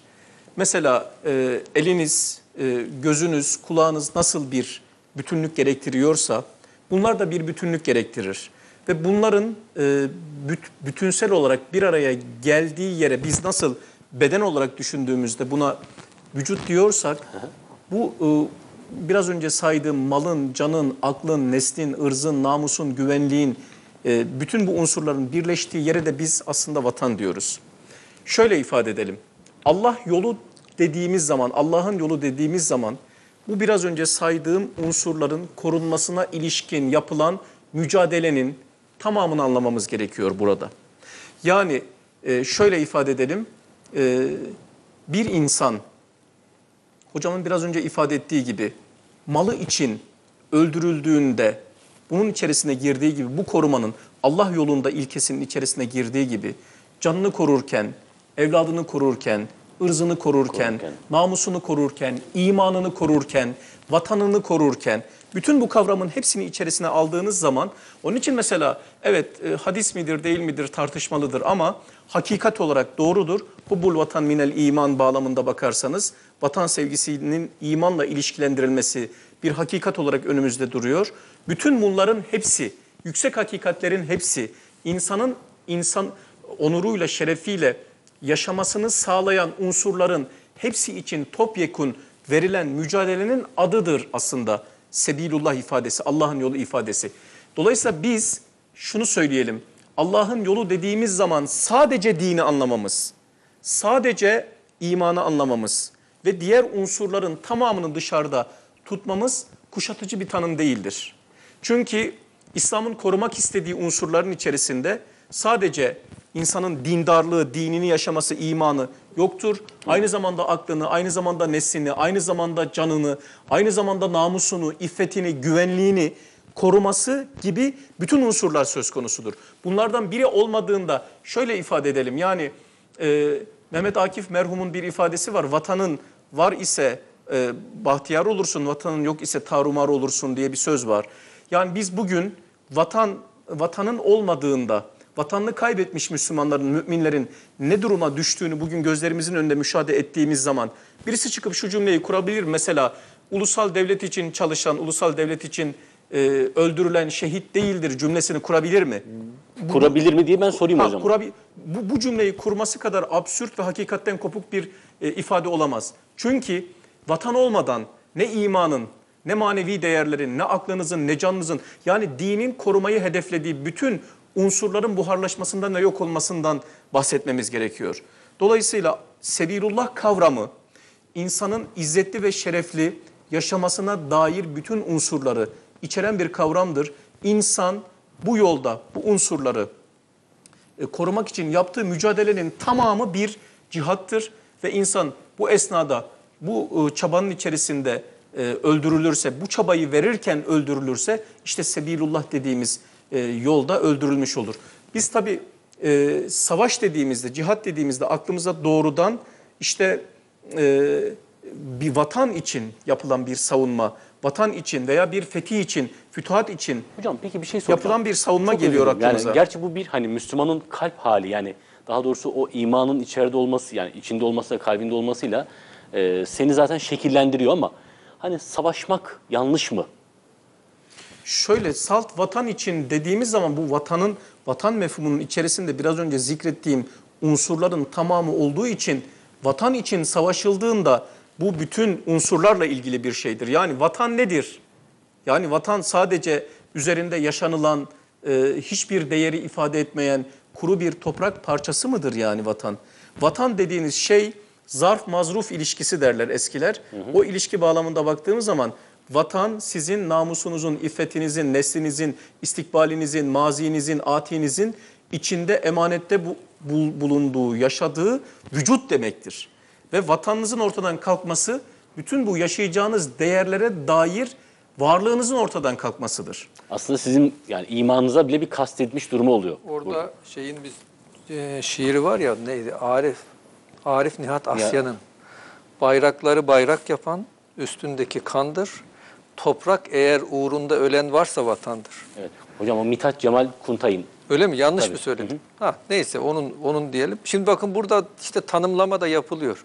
Yani feda edele eğer kendini feda eden bir kimse varsa o toprak vatandır. Şimdi kendini feda eden dediğimiz şey de işte bu da sebilul fi sebilillah olması lazım. Burada her ne kadar Yasin Bey'in söylediği o bütün o şeyleri içine alan bir tanımlama yapsak bile eee, ne derler mihverini ana noktayı din oluşturmaktadır. Yani dolayısıyla orada yani Allah rızası ya da Allah'ın yolunda gitmek. Şimdi Allah'ın yolu nedir dediğimizde aslında her gün Fatiha suresinde biz okuduğumuz Es-Sıratel Mustakim'dir. Bakın biz orada dua ediyoruz. Fatiha suresinin baş tarafında bir Allah'ın isimlerini sayarız. Sonra e, niçin ne yapmamız gerektiğini söyleriz. İyyâke na'budu ve iyyâke nesta'in derken kendi konumumuzu orada Tabii, kulluk yani tabii kulluk vasfıyla. konumumuzu belirleriz. Ondan sonra da biz dua ederiz. İlk duamız nedir? İhtinas sıratel mustakim. Ya Rabbi bizi doğru yola ilet. Şimdi bakın doğru yola la ilet dediğimizde iletmek yetmiyor. Orada kalmak lazım. Orada kalmanın iki yolu vardır. İşte hem doğru yola ilet diyoruz aslında bizi orada tut demektir. Çünkü bakın kafir ya da müşrik dediğimiz yoldan sapandır. Hatta bizim alimlerimizden bazıları derler ki insan doğduğunda onun önünde bir yol vardır. O yol Allah'ın rızasına giden yoldur. Eğer o yolu takip ederse o kişi Allah'ın rızasına ulaşır. O yoldan saparsa işte dal dediğimiz dal ya da e, dalalete düşmüş kişi dediğimiz şey yoldan sapmış olan kişidir.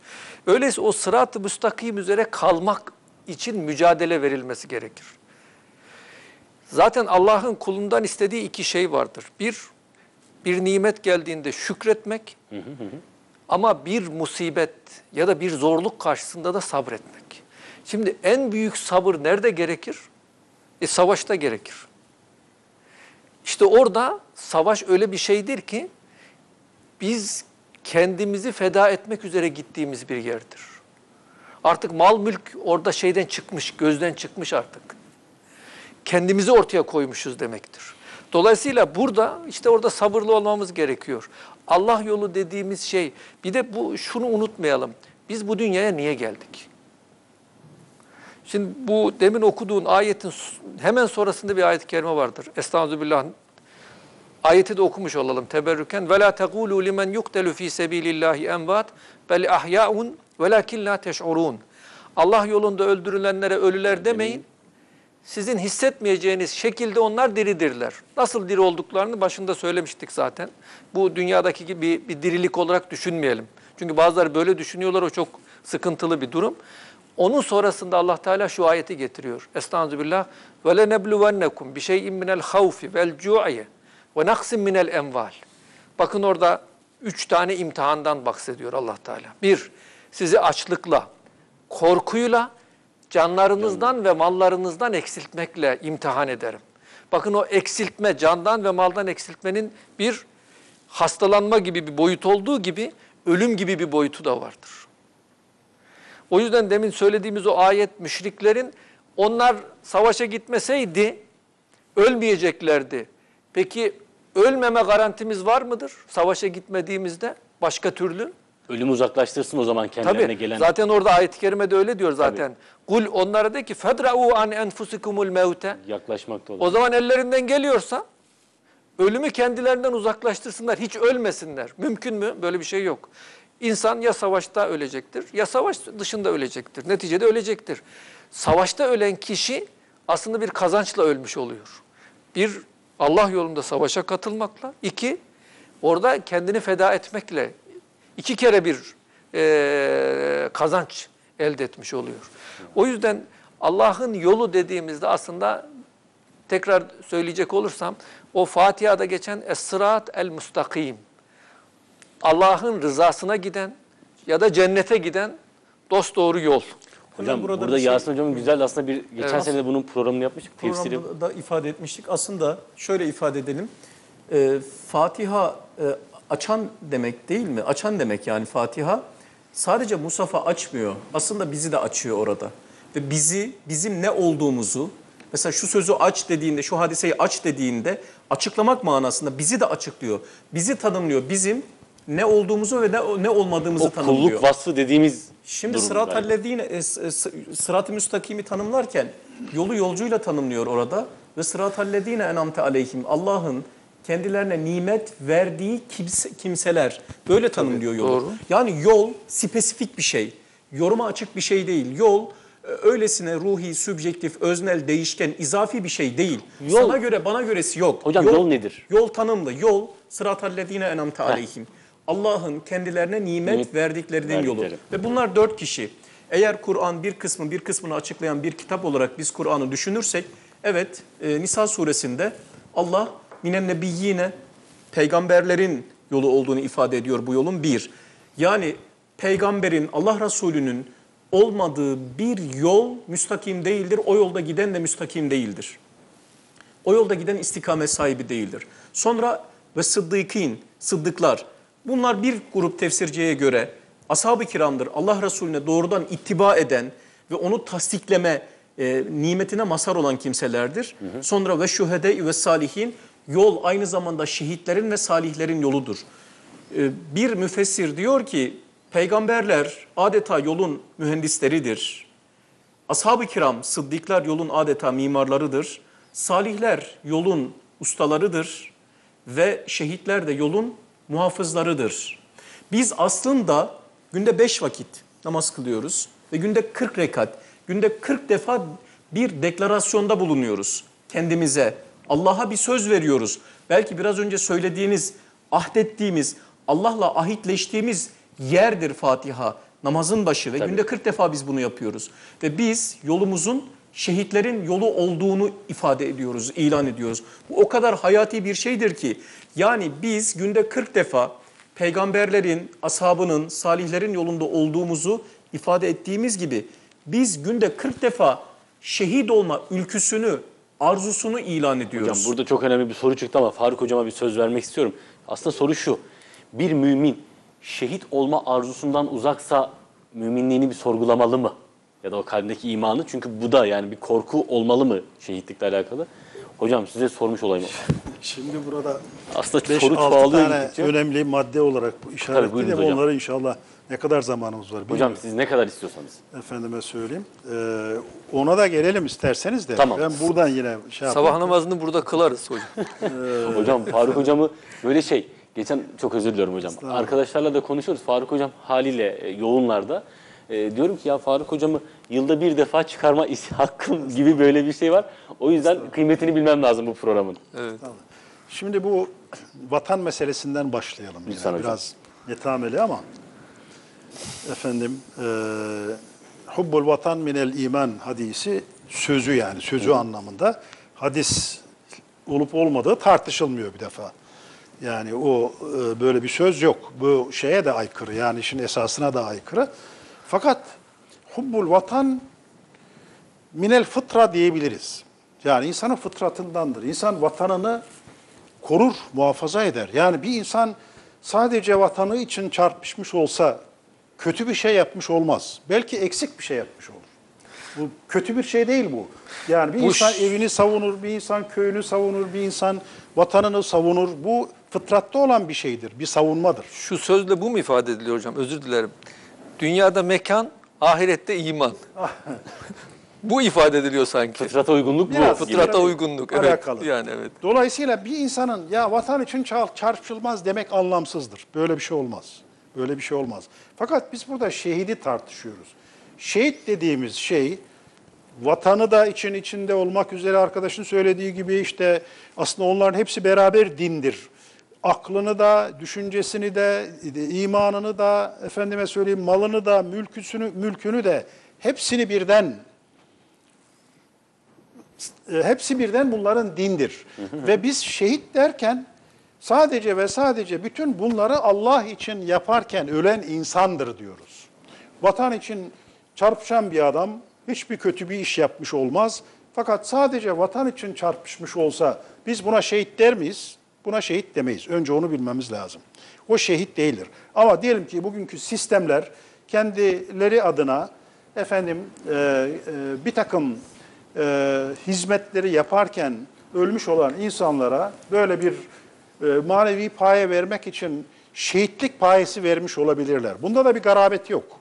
Yani böyle bir şey yapmış olsunlar. Fakat yani Allah için şehit dediğimiz insan sadece Efendimiz özetlemiş yani veciz ifadesiyle litekune kelimetullahi hiyel ulya fehuve fi sebilillah. Allah yolunda olan adam sadece Allah'ın hükmünün en üstün olması için e, çatışan insandır. Ça- Çatışırken ölen insandır. Şehit olan budur. Önce bunu söylemiş olalım.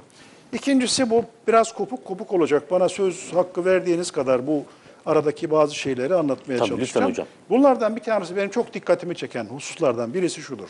Resulullah Efendimiz sallallahu aleyhi ve sellem şehitliği şey yaparken nedir şehit diye sorduktan sonra işte Allah yolunda ölendir demeleri üzerine o zaman çok az olmuş olur şehitlik. Oysa benim ümmetimden çok şehitler vardır diye e, söyledikten sonra Efendimiz sallallahu aleyhi ve sellem mesela şunları sayıyor. Diyor ki "Fanu ve taunu vel hedmu ve eklu sebu ila ahirihi. Yani bir adam düşünün bir yerden düşmüş, parçalanmış, ölmüş. Bir adam düşünün tauna yakalanmış, karın ağrısına yakalanmış, ölmüş. Bir adam düşünün bir kadın düşünün çocuğunu doğururken ölmüş, yanarken ölmüş, boğulurken ölmüş, boğularak ölmüş. Bütün bunlar şehittirler diyor. Şehittirler diyor. Birisi diyor ki ya Resulallah yani bu şehit bu kadar, bu şehidin bu kadar üstün olmasının şeyi ne diyor yani, sebebi ne filan diye soruyor. Diyor ki Efendimiz sallallahu aleyhi ve sellem eee hemen burada göremeyeceğim ama anlam olarak söyleyeyim size. Yani siz şehidin mesela özellikle savaşırken ölen bir- birisinin o kılıç şakırdılarının kafasında her an gidip geldiğini ve her an ölmek üzere olduğunu bilmesini o haleti ruhiyeyi biliyor musunuz siz? Onda günah adına bir şey bırakmaz ve bundan dolayı işte böyle bir yüce makama sahip olur diyor. Şimdi buradan ben bir yere gelmek istiyorum, onun için bunu söylüyorum. Şimdi bu Efendimizin saydığı hastalıklarda ta, eskiden taun, batın filan gibi şeyler nasıl hastalıklardı? Mesela bizim zamanımızda bile e, verem hastalığı işi götürücü bir hastalıktı. Yani bir adam vereme yakalanmış dedikleri zaman ben onu biliyorum çok benim tarihimde. Allah rahmet eylesin yani işte e, genç gidiyor ama filan derlerdi mesela. Şu anda verem halledildi fakat şu anda kanser var mesela. Veya başka bir takım hastalıklar Ya var. kalp Yani- krizi var. Mesela. Kalp, krizi var. Kalp krizi hadi insan onu şey yapmıyor, duymuyor. Bir anda gidiyor. Gidiyor. Biz öyle zannediyoruz ya da en azından. Şimdi bu hastalıklardan ölen insanlar da bunlar da şehit olarak tar- tarif ediliyor. Neden? Çünkü yani ben biraz yaşadığım için yakınlarımdan biliyorum.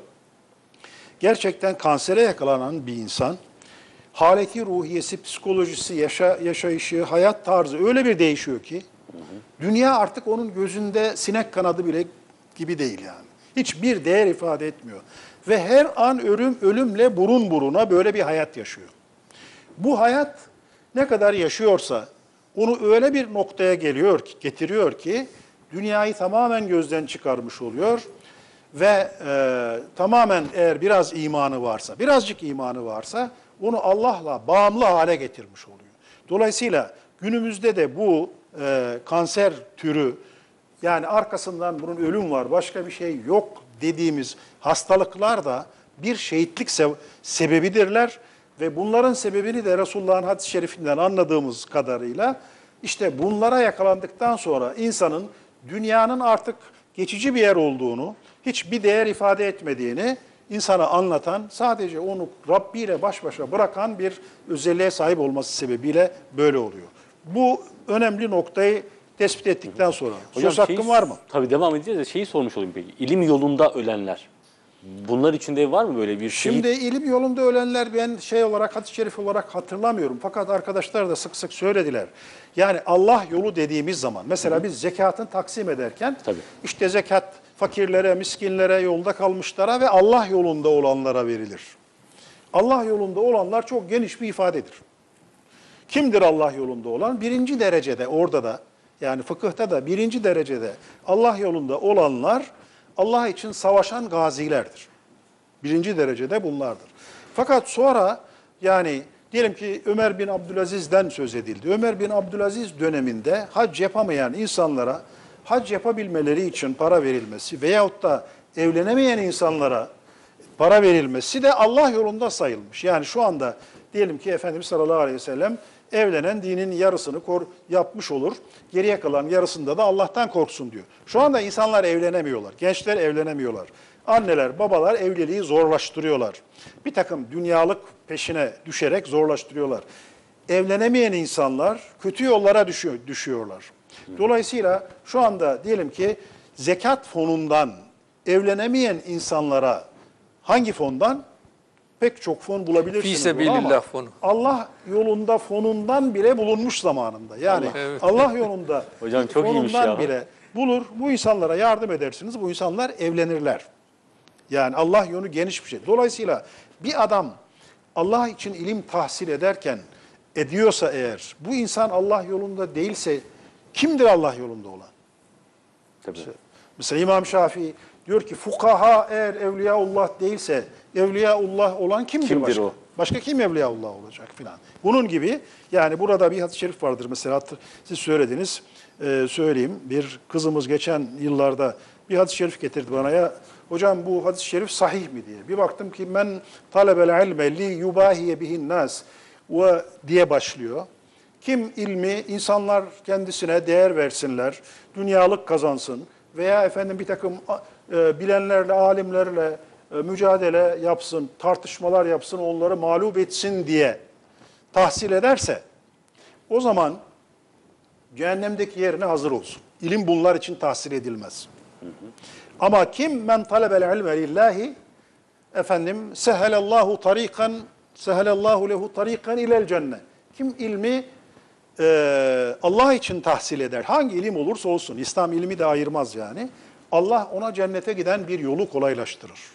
Kolaylaştırır diyor. E, şimdi bu bundan sonra bir başka maddeye geçeyim mi? Böyle Tamam. 5-6 tane maddem var. Onlardan birisi de burada tartışıldığı için söylüyorum.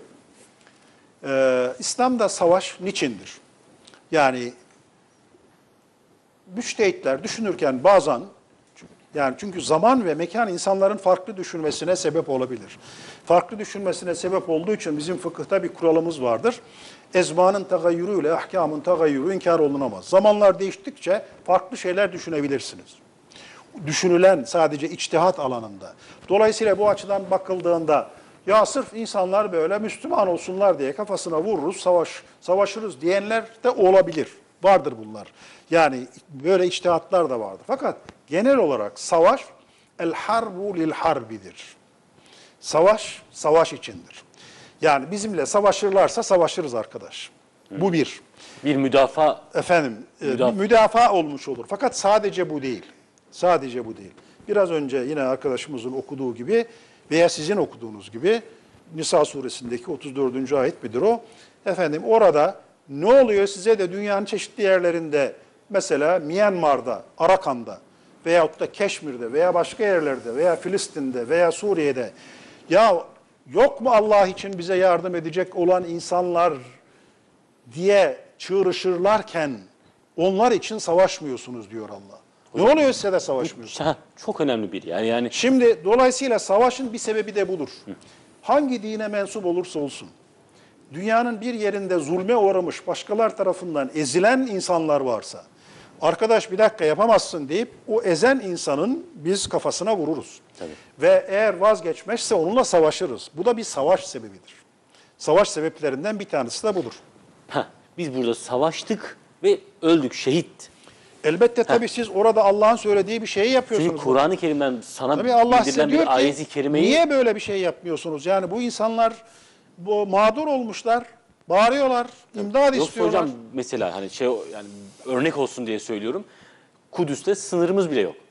Ne alakamız var? Biz tamamen bizim kutsal kitabımızda yer alan bir ayeti kendimize şiar edinip gidiyoruz Evet şu anda aslında Allah bize diyor ki Kudüs'te Kudüs'te gittim ben gördüm. Gidenleriniz görmüşlerdir.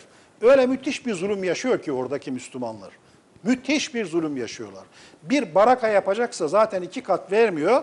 10 yılda bir barakanın sadece ruhsatını çıkarabiliyor. Bir baraka yapacak. 10 yıl erteliyor onu. Böyle zorlar, zorlayarak. Evli- Ara- evlerinin tamiratını yaptırmıyor. Tamiratını yaptırmıyor. Tarlasına efendim arabayla gidemiyor. Af buyurun eşekle gitmek zorundasın diyor. Böyle bir zulüm yaşıyor insanlar orada. Şimdi bu ayetin gereği Allah bize diyor ki yahu size ne oluyor da gidip onları kurtarmıyorsunuz. O zaman bunun bunu nasıl yapacağız? Bunu yapmanın yolunu da Allah bize söylüyor. Ve aiddu lehum mastata'tum min kuvvetin. Bu zalimlere karşı yapabileceğiniz bütün güçleri hazırlayacaksınız. Ve bununla turhibune bihi aduvallah. Hem Allah'ın düşmanlarını kork- korkutacaksınız bakın. Yani korkacaklar, cayacaklar sizin güçlü olmanızdan hareketle. Yoksa öldüreceksiniz demiyor Allah. Eyvallah. Hem Allah'ın düşmanlarını korkutacaksınız, hem kendi düşmanlarınızı korkutacaksınız, hem de sizin bilmediğiniz daha ne düşmanlar vardır. Sadece Allah'ın bildiği düşmanlar vardır. Onları da korkutmuş olacaksınız. Ha korkutacağız ve caydıracağız. Eğer kıbırdarsa, eğer zalimlik yaparsa, eğer saldırırsa tepesine vururuz. O ayrı bir şey. Ama savaş, savaş için. Başka bir ayette Allah diyor ki, sizi ülkelerinizden çıkarmayan, size zulmetmeyen, kadretmeyen insanlar, insanlara kafir olsunlar, müşrik olsunlar velev ki, iyilik yapmanızda bir sakınca yok diyor Allah. Onlara iyilik yapabilirsiniz, iyi geçinebilirsiniz. Fakat eğer sizi zorluyorlarsa, sizi efendim e, ülkenizden, vatanınızdan, haklarınızdan çıkarıyorlarsa, bunlardan mahrum ediyorlarsa o zaman niye savaşmıyorsunuz? Savaşmak için ne yapacağız? Güç, kuvvet hazırlayacağız. Güç, gücünüz ve kuvvetiniz olacak. E Müslümanlar Müslümanlar bunu yüzyıllardır ihmal etmiş. Şimdi şu anda biz bunları yeni yeni anlamaya başlıyoruz. Dolayısıyla bu noktayı da uzatmadan söyledikten sonra buna bağlı olarak bir şey söyleyeceğim. Biraz sonra unuturuz, kalırız, ne olur, ne olmaz diye. Buyurunuz hocam. Şurada gelirken tam son, da, son dakikada.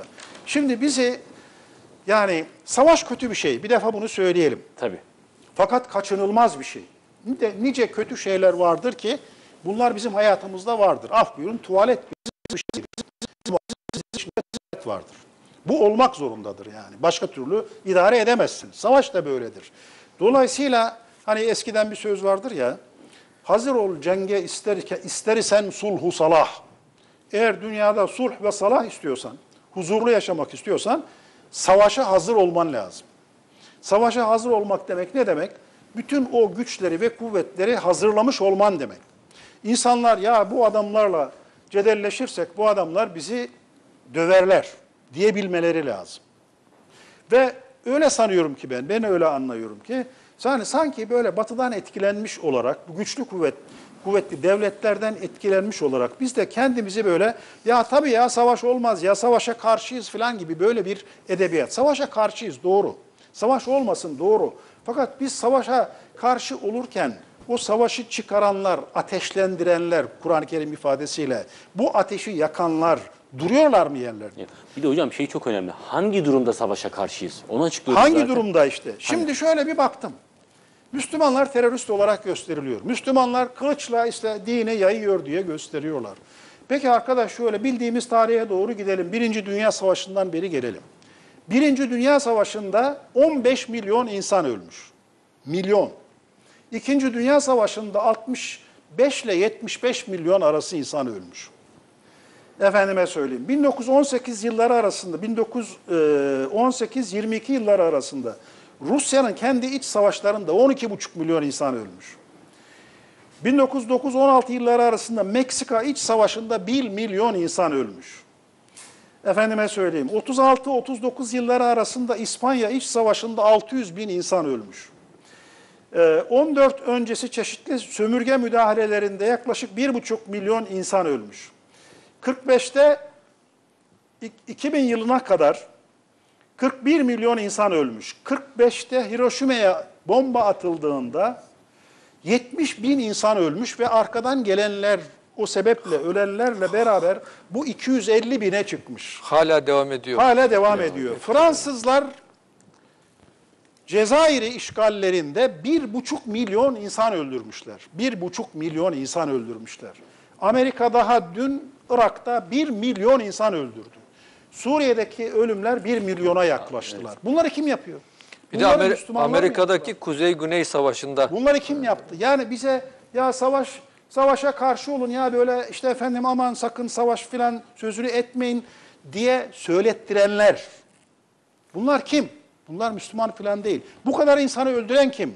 Bunlar işte bu emperyalist güçler, bu batılılar bunu böyle yapıyorlar. Sonra bizim af buyurun buradan söyleyeceğim kusura bakmayın aptallarımıza savaşa karşıyız filan dedirtilmesinin bir anlamı kalır mı? Böyle bir şey olmaz. Savaşa ne zaman, savaş hiç olmayacaksa, kimse yapmayacaksa karşıyız arkadaş. Yapmayalım. Niye savaş olsun ki yani? Niye birisini öldürmekten zevk mi alacağız? Veya birisinin bizi öldürülmesinden. Bu noktayı da göz önünde bulundurmamız lazım. Yani savaşa karşı olmanın mantığını yerinde ve zamanında anlamak lazım. Bu da bir başka maddeydi. Devam edeyim mi? şunu şunu Hocam, ekleyelim biraz hocam. ekleyelim ama burayı da biraz Şunu ekleyeyim. konuşalım. Hocamın söylediğini ho- hocam çok güzel bir noktada bıraktı aslında. Çok hoş bir yer hocam. Yani adaletsizlik olmayacaksa, zulüm olmayacaksa, İnsanlar haksızlık ölmeyecekse. olmayacaksa, insanların malına canına bir tecavüz olmayacaksa e, biz savaşa karşıyız. Ama bunlar oluyorsa, e, bunların olduğu yerde e, bunları korumamız lazım. Yani ben e, adam gelip ırzıma musallat olacaksa, vatanıma musallat olacaksa, özgürlüğümü elimden alacaksa, e, bana zulmedecekse e, ben savaşa karşıyım demek e, o zaman aptallık Hocam olur. Yani. çok özür diliyorum. Aslında benim en çok üzüldüğüm yer şurası Faruk Hocam. Hani o girizgahta da söylemiştiniz ya biz dünyayı yanlış anladık. Sanki burası bizim amacımız gibi işte konfor hayatına alıştık. Şimdi beni en çok üzen şu hocam. Mesela Suriye meselesinde konuşalım. Yahu bizim Suriye'de ne işimiz var? Bunu diyenlerin hani inanan insanlar olması beni daha çok üzüyor.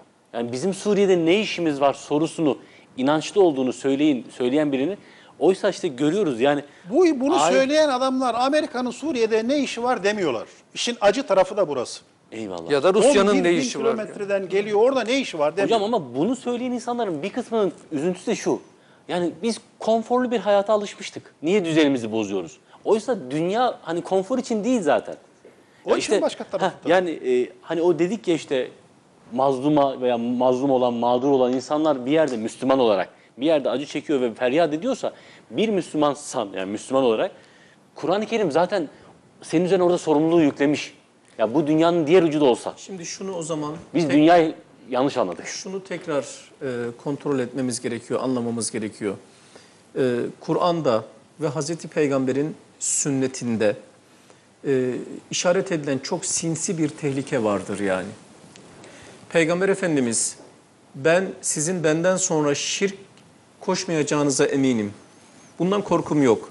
Şeytan bu topraklarda bir daha kendisine tapılmayacağı konusunda, tapılacak konusunda bütün ümidini kaybetti. Fakat sizin entenefesu fihe, dünya konusunda birbirinizle yarışmanız, sekülerleşmeniz, asıl korku budur. Şimdi geriye yaslanıp İslam coğrafyasına baktığınız zaman nerede bir kan dökülüyorsa, neresi bir enkaz haline gelmişse, nerede bir mazlum varsa gidin bakın bugün Müslüman. Sadece Kurban Bayramı günlerinde, dört günde en az 4000, 5000 Myanmarlı Müslüman aklınıza gelebilecek en korku filmi manzaralarını, e, sahnelerini aratmayacak derecede en hunhar bir şekilde katledildi değil mi? Ve Akdeniz ve Ege kıyıya çocukları vurdu. En az 10 bin Müslüman ve bunlar da Müslümandı. Ve Akdeniz'in soğuk, Ege'nin soğuk sularında kaybolup gittiler. Helak olup gittiler, boğuldular. Geriye yaslandığınız zaman çok büyük bir problem var. Ve bir tarafta da şöyle ifade edelim. Düğün törenine gelen ziyaretçilere, misafirlerin her birine birer iPhone hediye eden, bir yerden bir yere ziyarete giderken 10 tane uçakla giden, 10 uçaklık malzemeyi beraberinde sürükleyen, sözüm ona Hazreti İsa'nın resminin bulunduğu, resminin bulunduğu o tabloyu almak için yaklaşık 500 milyon dolar ödeyen, ama hemen aşağısında sağında solunda yokluktan dolayı Müslümanların içine foseptik suyu karışmış suları içtikleri için e, koleradan telef olduğu bir İslam coğrafyası var. Tabii. Şimdi geriye yaslandığımız zaman gördüğümüz manzara budur. Bu bir şeye işaret ediyor bence geldiğimiz nokta itibariyle. Hem Allah Resulü'nün bu işaret ettiği sinsi, o kurdun, İslam ümmetini içeriden kemiren kurdun devası şifasına yeni bir boyuta işaret ediyor. Anlatılır Peygamber Efendimiz bir savaş sonrasında bir gazveden dönerken ashab-ı kirama bir cümle kuruyor.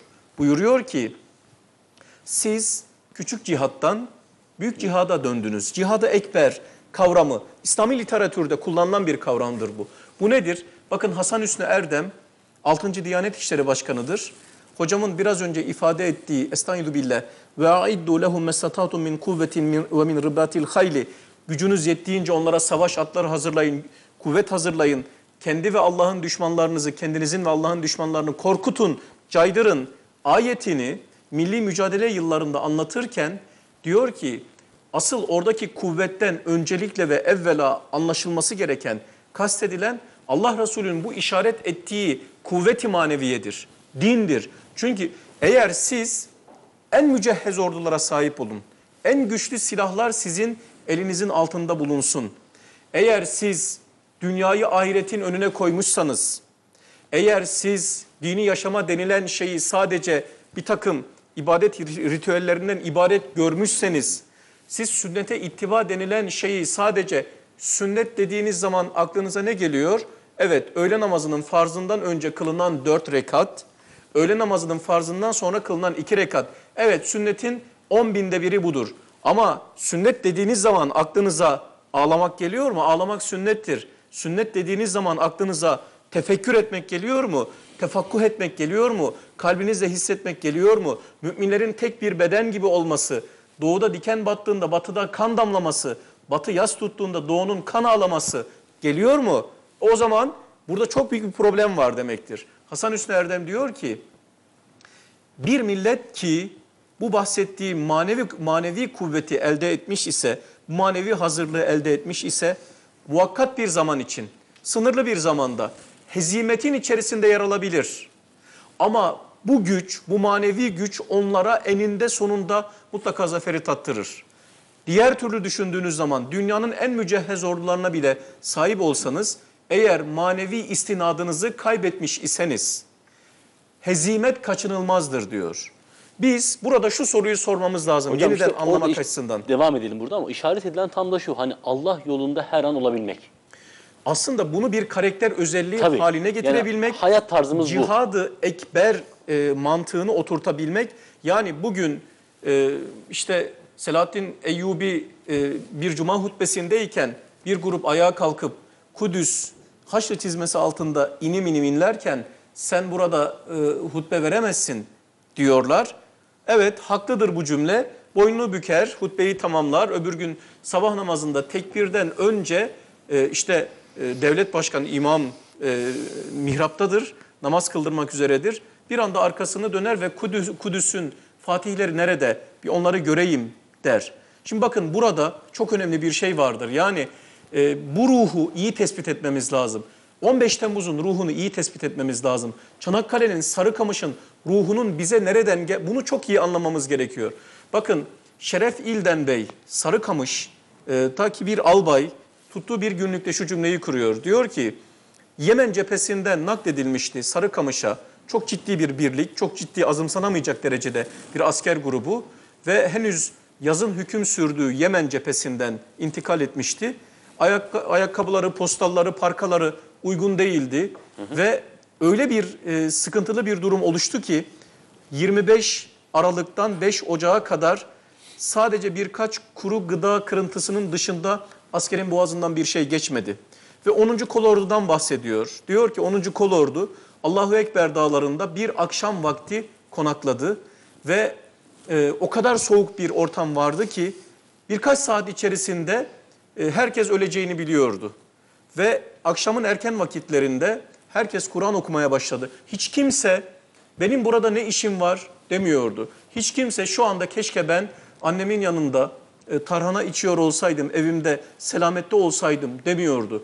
Hiç panik olmamıştır Sarıkamış'ta. Çünkü herkes Kur'an-ı Kerim okuyarak, Kur'an'a sarılarak, süngüsüne silahına sarılarak o duygu, o ruh hali içerisinde 10. kolordunun tamamı şehit oldu.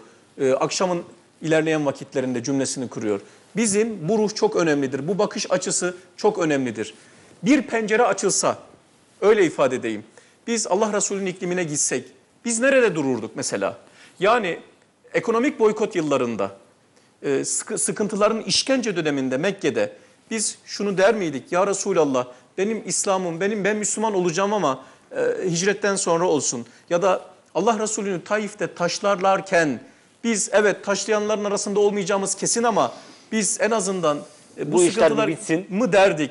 Tebuk'te, Tebuk gazvesinde münafıklar sahte bir takım mazeretlerle eşimiz var, aşımız var, işimiz var diye Hazreti Peygamber'e gelip e, cihattan kaytarmak için izin isterlerken biz nerede dururduk? Bu bir. Buyurun hocam. İkincisi de bugün şu cümleyi, şu soruyu sünnete ittiba diyoruz ya. Bakın cihat ruhunun, şehadet ruhunun Kur'an'a göre kaynakları, beslendiği kaynaklar vardır. Bu kaynaklar nelerdir diye sorarsanız hemen bir ayet okumak gerekir. Yani biz şimdi konuşuyoruz, bir e, pe- perspektif çiziyoruz. Bu daha çok etimolojik bir e, mahiyet alıyor ama psikolojik ve ontolojik açıdan yani varoluşsal bir durumdur şehadet dediğimiz bir şey. Çünkü ölüm bütün maskeleri düşürür. Hocam ifade etti. Yani o kadar harika bir yorumdur ki bu. Bunu da hocam izninizle ben kullanacağım her yerde. Çünkü gerçekten ölüm deneyimini yaşıyorsunuz, öleceksiniz. Peygamberimiz buyuruyor ki O kılıçların kabrin fitnesinden muaftır şehit. Kabrin bir sıtması, kabrin bir sıkması vardır. Ondan bile muaftır. Ashab-ı kiram şaşırıyorlar. Yani şehit kabrin fitnesinden de muaftır diye. Efendimiz öyle buyuruyor. Kılıçların onların başlarının üzerinde şakırdaması onlara fitne olarak yetti diyor Peygamber Efendimiz. Bu duyguyu beslemezseniz, bu duygunun beslendiği kanalları diri tutmazsanız yani yarın e, evet kim var dendiğinde sağına soluna bakan, geri geri adım atan insanlar üretmiş oluruz. Bunu çok nedir Kur'an'a göre şehadetin beslendiği kaynaklar? Hepimizin bildiği bir ayet vardır. Estaizu billah. Ve men yuti illaha ve rasule fe ulaike ma'allezine en'amallahu aleyhim minen nebiyyine ve sıddikine ve şuhedai ve salihin fe hasune ulaike refika. Yani Şehadetin bir kaynağı Kur'an'dır. Sarıkamış'ta Allahu Ekber dağlarında okuya okuya şehadete erdikleri. Ele bi zikrillahi tetmainul kulub. Çünkü Kur'an en büyük sükunet ve vakar kaynağıdır. Sonra Peygamber Efendimiz'den bahsediyor. Allah Resulüne itaatten. Bugün sünneti yeniden anlamamız, hayatı özünden kuşatacak şekilde.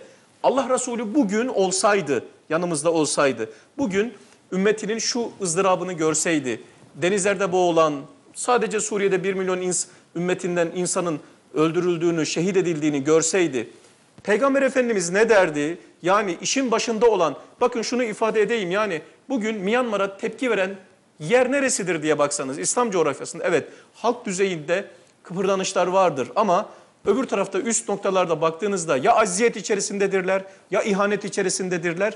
Bir tep- tepki Anadolu'dan gelir. Anadolu e, İslami bir dirilişten, bir medeniyet dirilişinden bahsedecek isek Anadolu bunun kuyruk sokumundaki kök hücresidir. Hani Hazreti Peygamber buyuruyor ya bir insan vefat ettiğinde gömülür, bütün uzuvları çürür. Kuyruk sokumundaki bir hücre hariç Allah oradan diriltir tekrar o insanı. Bu mealde hadisler vardır.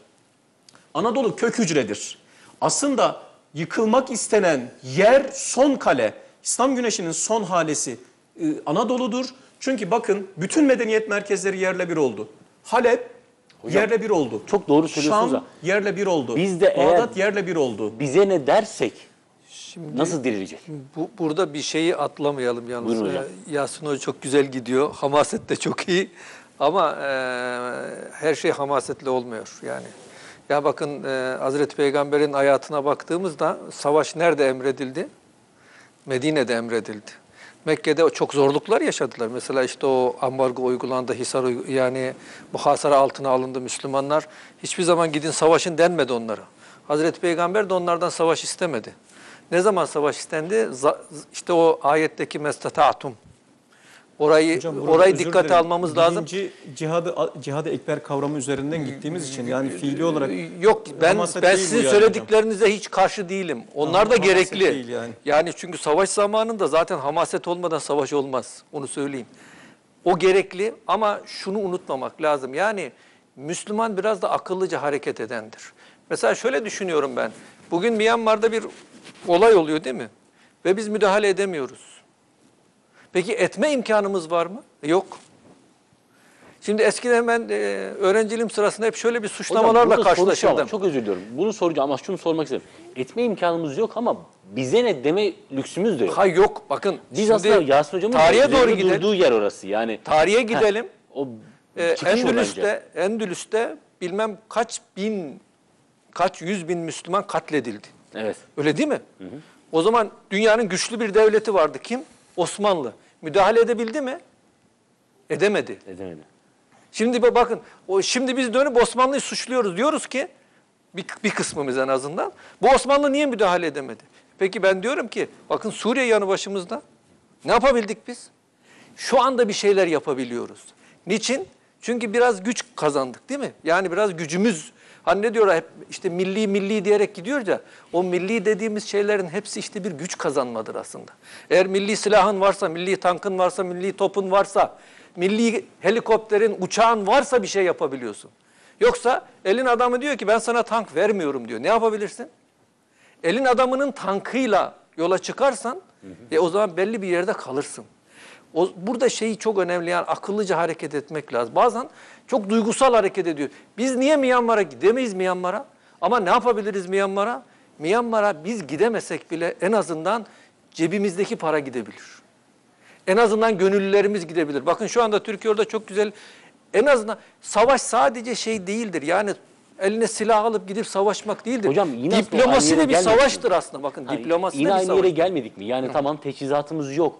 Ama onların derdiyle dertlenmek sonucunda Kesinlikle ha, zaten. bir şey, Bu- bir somut adım. bakın, yani illa bu şey değil. Yani Myanmar'a kim zulmediyorsa onlarla birebir cenk had- edelim. hadis-i şerif var ya, Bir şeyi elinle düzeltebiliyorsan elinle, Elinle. dilinle düzeltebiliyorsan dilinle, onu yapamıyorsan en azından kalbinde bir şey olsun. Hocam aslında kalpte Dediğimiz bu. kalpte Bakın başlıyor. eğer bugün Müslümanların kalbinde yok diyemeyiz. Bu var. Ha Yasin Bey'in dediği gibi bazı yöneticilerde bu yok. Zaten onlardan bir şey beklenmiyor ki. Zaten onlar e, ne derler halklarını sanki frenlemek üzere gelmiş. Gölge etmesinler başka Ha, insan istemiyor. hocam çok güzel söylediniz. Dolayısıyla burada şunu görmemiz gerekiyor. İnsanların aslında o kalbi noktasını biraz daha e, e, kuvvetlendirmemiz Hocam gerekiyor. tam olarak sorun buydu ama. O çok önemli Ha, bir şey. Yani mümin Eğer olarak o- şehitlikten uzaklaştık mı? Yani veya o cih- Şimdi ben bir Yok, şey söylemek ben istiyorum. uzaklaştım. bu, ben buradayım. Yani değilim. hani Uzak- o kalp Bakın- noktasını ben bu taraftan bu gece için incelemek istiyorum. Yani bir müminin şehadete bakışı e, şey mi? Yani artık böyle o konformist hayatlar dolayısıyla e, yani ya çok zorda kalmadığımız sürece girmeyelim, çok zorda kalmadığımız sürece savaşmayalım ve şehadet Ben bir dediğimiz... tabloyu mesela e, dikkatimi çekti. E, dündü zannediyorum. Dün ya da evvelki gün mü? E, bir şehit defni söz konusu. Nerede? Karabük- Karabük'te. Karabük'te. Mesela beni çok etkiledi o. Eyvallah. E demek ki uzaklaşmamışız yani. Yani aslında bakın o tablo çok güzel gösteriyor. Yani eğer uzaklaşmış olsaydık o tablo ortaya çıkmazdı. Tabii. Ben İslam dünyasının hiçbir yerinde bundan uzaklaşıldığı kanaatine değilim. Yani bir takım yöneticilere bakarak bütün İslam dünyasını değerlendirmenin çok doğru olduğunu da düşünüyorum. Zaten Yasin Bey de onu söyledi. Şimdi hocam biraz Ama nedir? Burada harekete geçe, geçen, harekete geçirmemiz gereken şeyin ne olduğunu hesaplamamız gerekiyor. Bazen fiili savaş söz konusu olabilir. Bazen infak, paranla bu işi yapmak söz konusu olabilir. Bazen diplomasi dediğimiz bugün eskiden de bu yapılıyordu. Eyvallah. Bakın diplomasi dediğimiz şey bazen bir savaştan daha etkili olabilir. Onların konu o yüzden burada akıllıca hareket etmek. Zaten şu vardır bakın hiçbir zaman Müslüman savaşa ölmek için gitmez.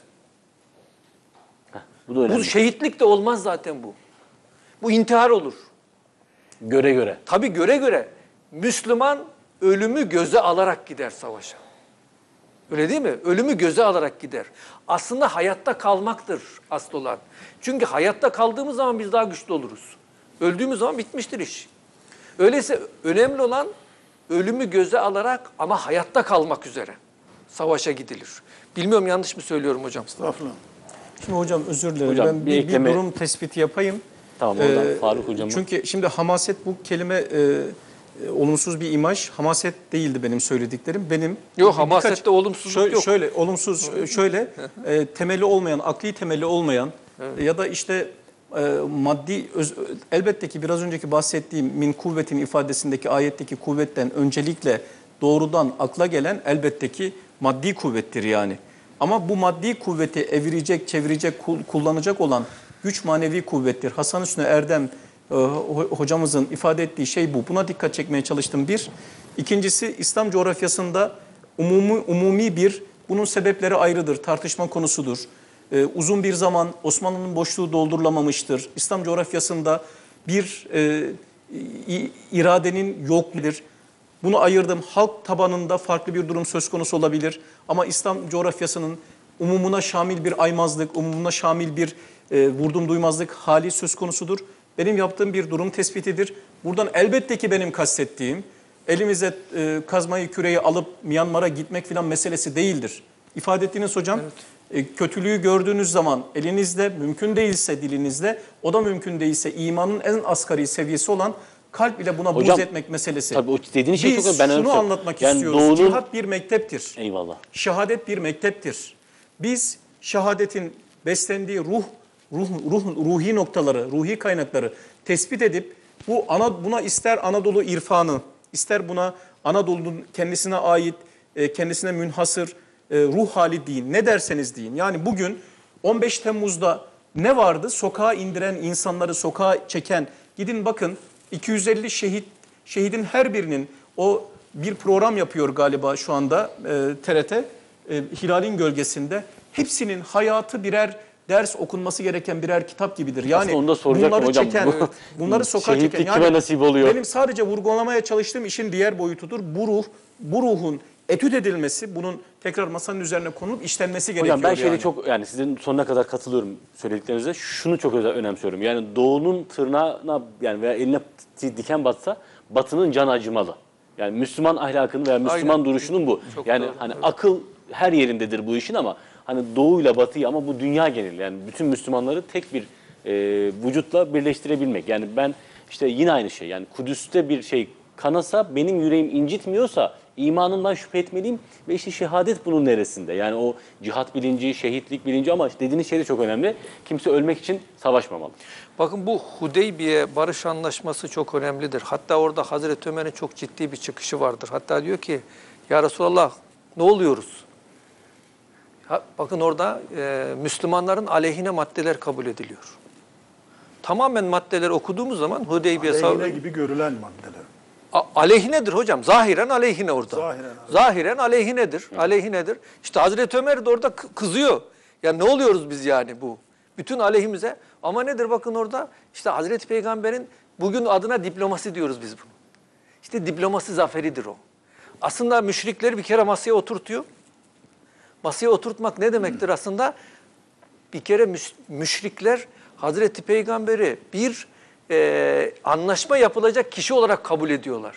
Medine'yi anlaşma yapılacak bir kişi olarak, bir e, devlet olarak kabul ediyorlar. Ondan sonrası bakın arkası çorap, çorap söküğü gibi geliyor. Sonuç ne oluyor? Sonuç Mekke'nin fethi. Öyle değil mi? Öyle.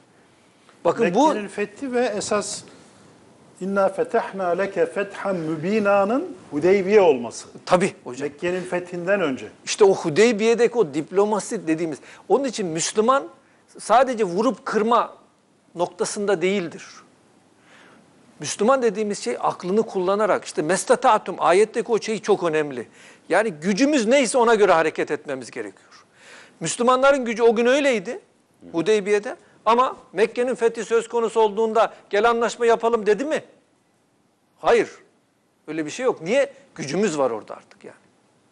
Orada artık bir üste çıktığımız, bir üst makama çıktığımız bir durum söz konusu. Düne kadar mesela çok suçladı, suçlandı insanlar. Yani niye Türkiye bu Suriye'ye müdahale etmiyor? Bizim güçlü bir ordumuz yok mu? Ama orada işte bakın güçlü ordu dediğimiz şeyi de bu dünya konjonktürünü hesaba katmamız gerekiyor.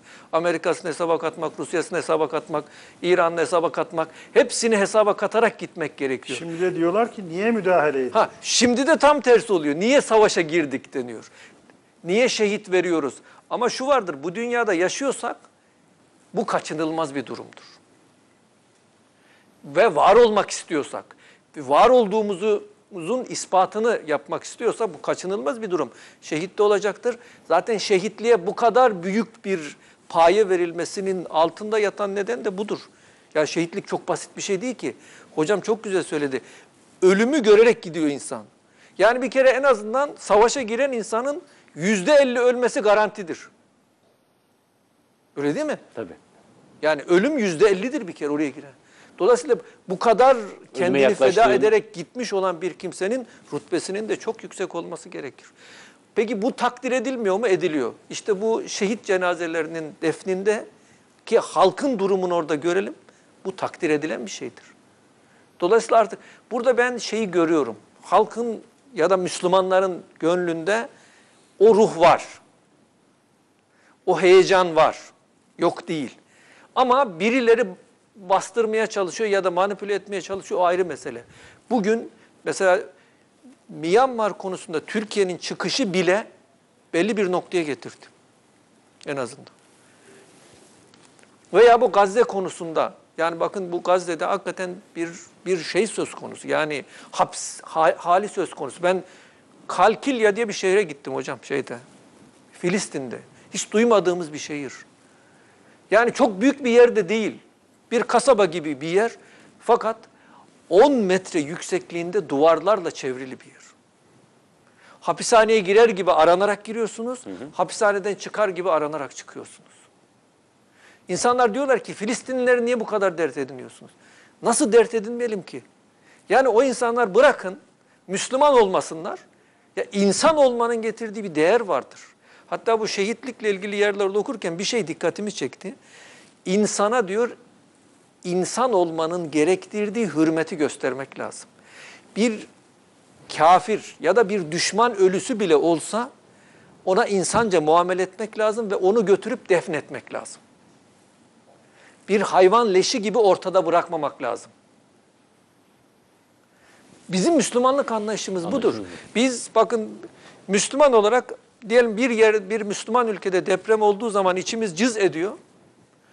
Aynı şekilde diyelim Haiti'de Müslüman olmayan bir ülkede deprem olduğu zaman da bizim içimiz cız eder. Niye? Çünkü oradaki yaşayanlar da insan neticede.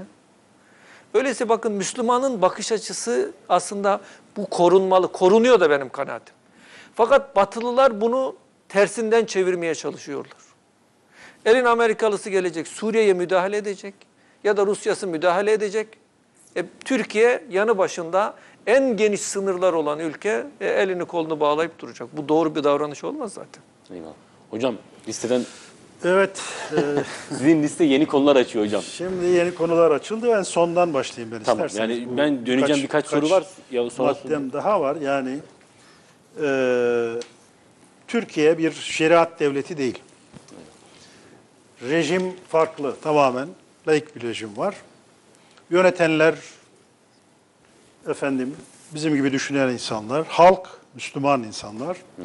Peki buna rağmen bu savaş diyelim Suriye'de olan Afrin çıkarması ve ona benzer onun gibi şeylerde ölen insanlar şehit olabilirler mi? Önce onu söyleyelim. Tekrar soralım. Evet şehit olabilirler. Bu tamamen niyete bağlı bir şeydir. tabii.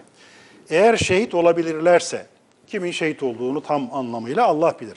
Fakat biz şunu görebiliyoruz rahatlıkla. Bakıyoruz ki bizdeki bu şehitlik akidesi, şehitlik inancı imanımız zayıf da olsa, amelimiz olmasa bile sıra oraya geldiği zaman bir bakıyoruz ki askerler oradan işte şehit olursam şöyle yapın, şöyle olsun diye mesajlar gönderip o duyguyu yaşamaya başlıyorlar. Yaşamaya başlıyorlarsa o zaman demek ki burada şehit olabilirler bunlar. Şehit olabilirler. Yani biz hüsnü zan olarak şehit olduklarını varsayarız. İçine Allah bilir.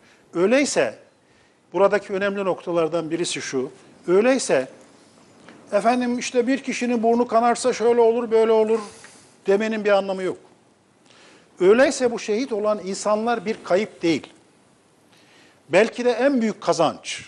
Elbette ateş düştüğü yere yakıyor. Yani bu insanlar kimin evladıysa o, o insanın evinde bir boşluk meydana geliyor. Fakat aynı zamanda bir şeref meydana geliyor. Aynı zamanda o insanlar bununla bir şehidi olması, şehit yakını olmasıyla ki Resulullah Efendimiz bir şehidin yakınlarından işte şu kadar bin kişiye şe- şefaat edebileceğini söylüyor. Yani şefaati reddeden e, şey, modern hocalara rağmen biz bu işin olabileceğini biliyoruz. Yani Resulullah'a sorarsanız vardır bu. Kur'an-ı Kerim'e de sorarsanız gene vardır. Yani şefaat vardır. E peki böyle olduğu zaman bu insanlar kayıp değil. E bunlar olmasın.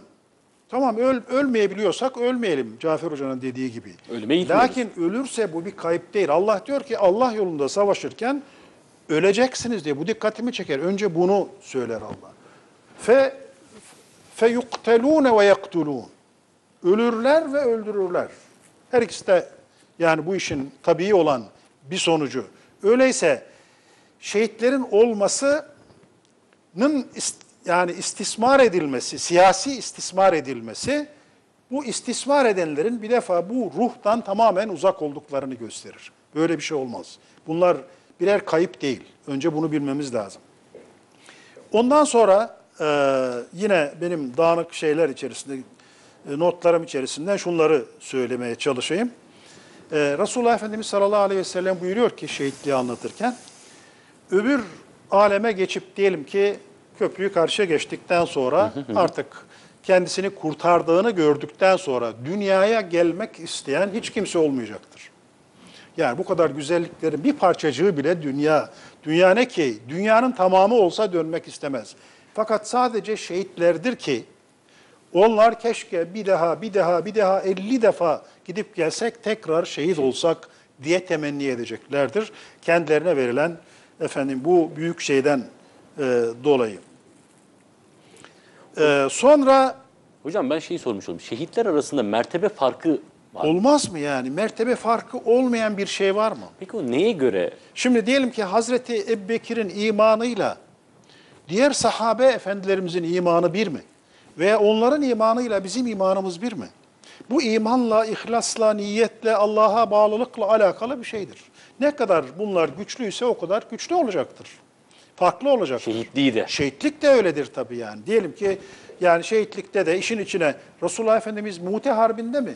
Yani birazcık şöyle geri çekilerek efendim hücum yapan bu geri çekilmeler sonucunda şehit olan bir sahabinin cennetteki misal, alemi misalinde onun diğerlerinden biraz sonra girdiğini gördüm diyor. Yani ufacık bir geri kaçma. Çünkü Kur'an-ı Kerim'de çünkü Allah diyor ki savaş yani fe in cenahu lis-selmi.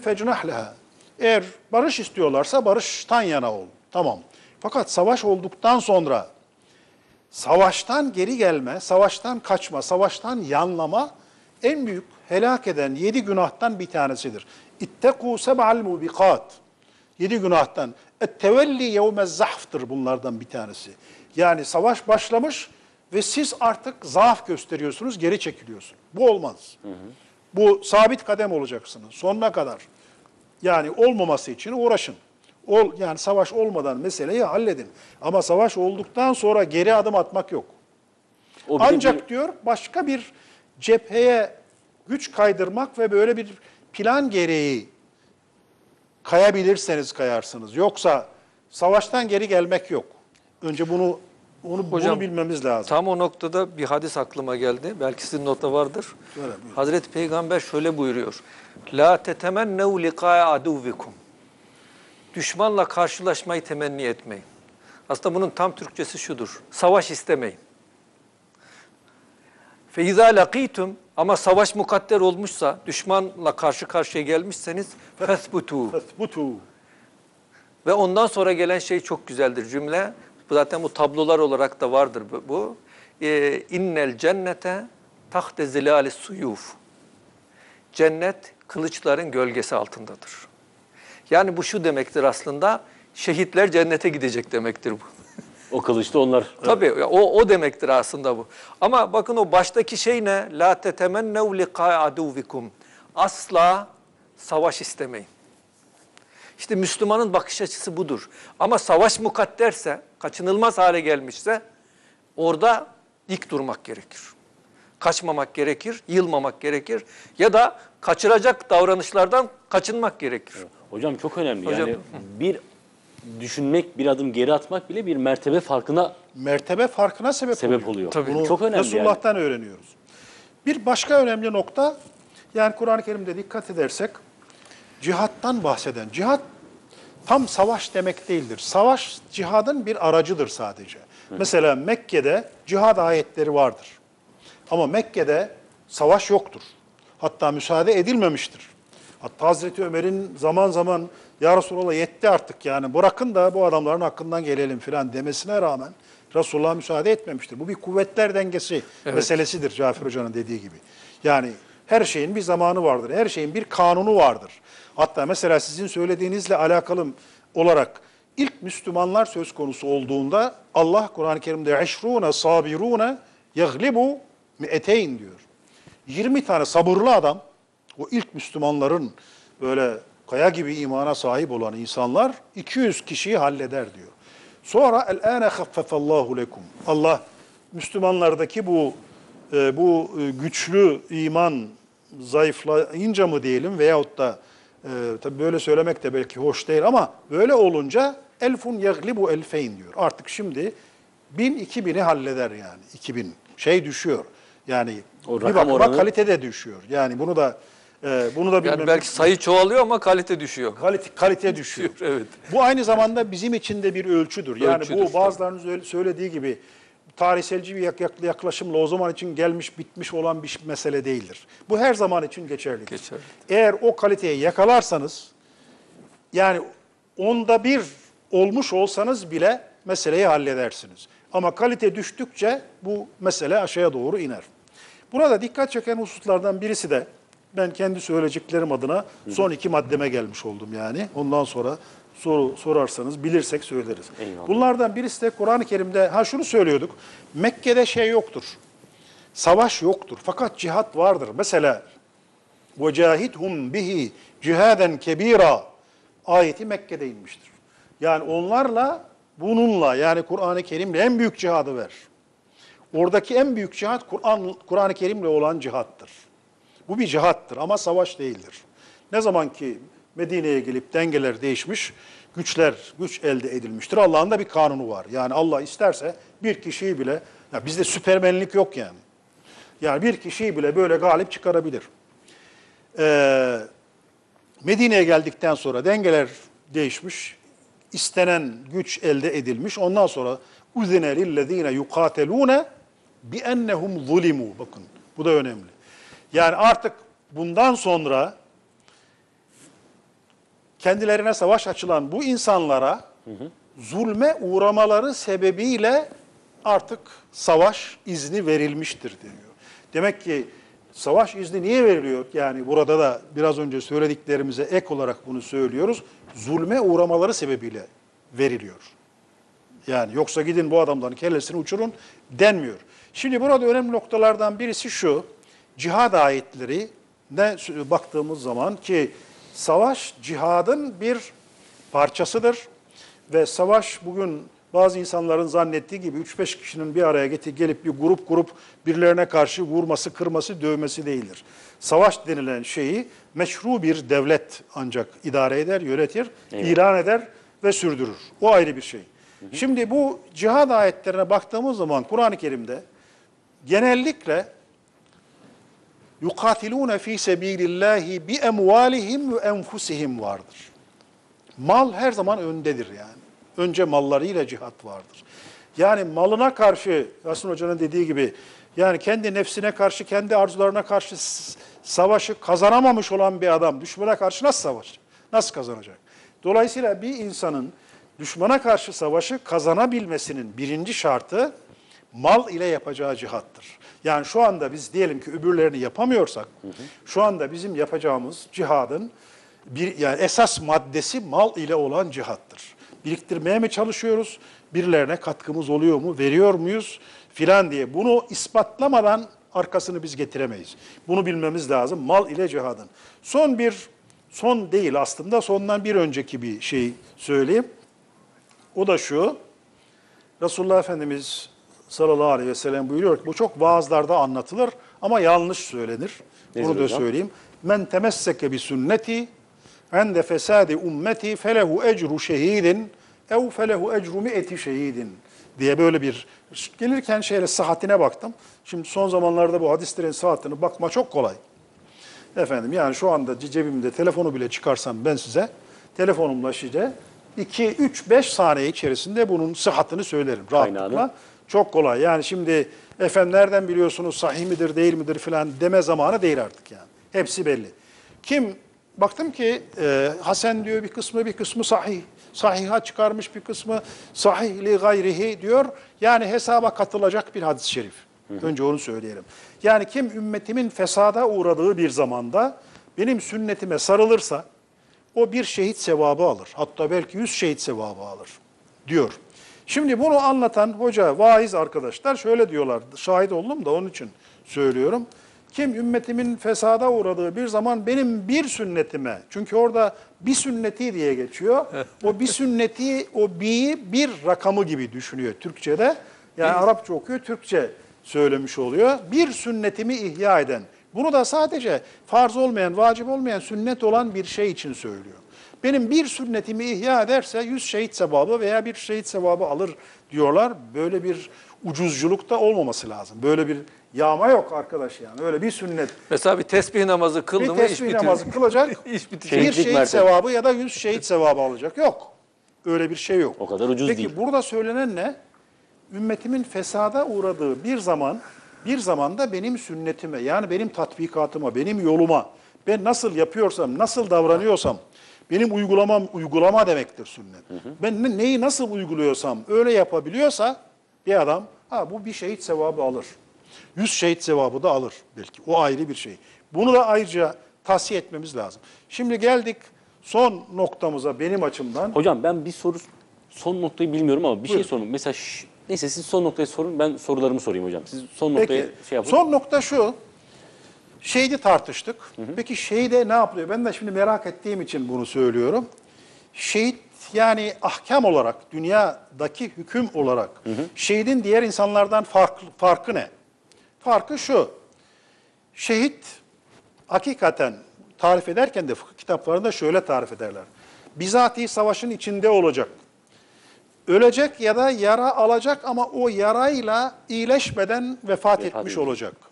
Eğer böyleyse, hatta şunu ayırırlar. Yara almış, gelmiş, tedavi olmuş, biraz iyileşmiş, sonra tekrar nüksetmiş filan, konuşmuş, yemiş, içmiş ise o Allah katında hükmen Allah katında şehittir.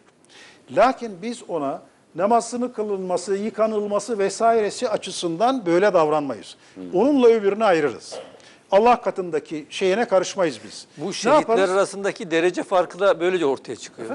Şehitler arasındaki derece farkı da böyle ortaya çıkıyor. yani. Şimdi öbürünü Orada da uygulamalar değişiyor Evet hocam? tabii. Öbürünü deriz ki şehit ya sizin yıkamanıza ihtiyacı yok.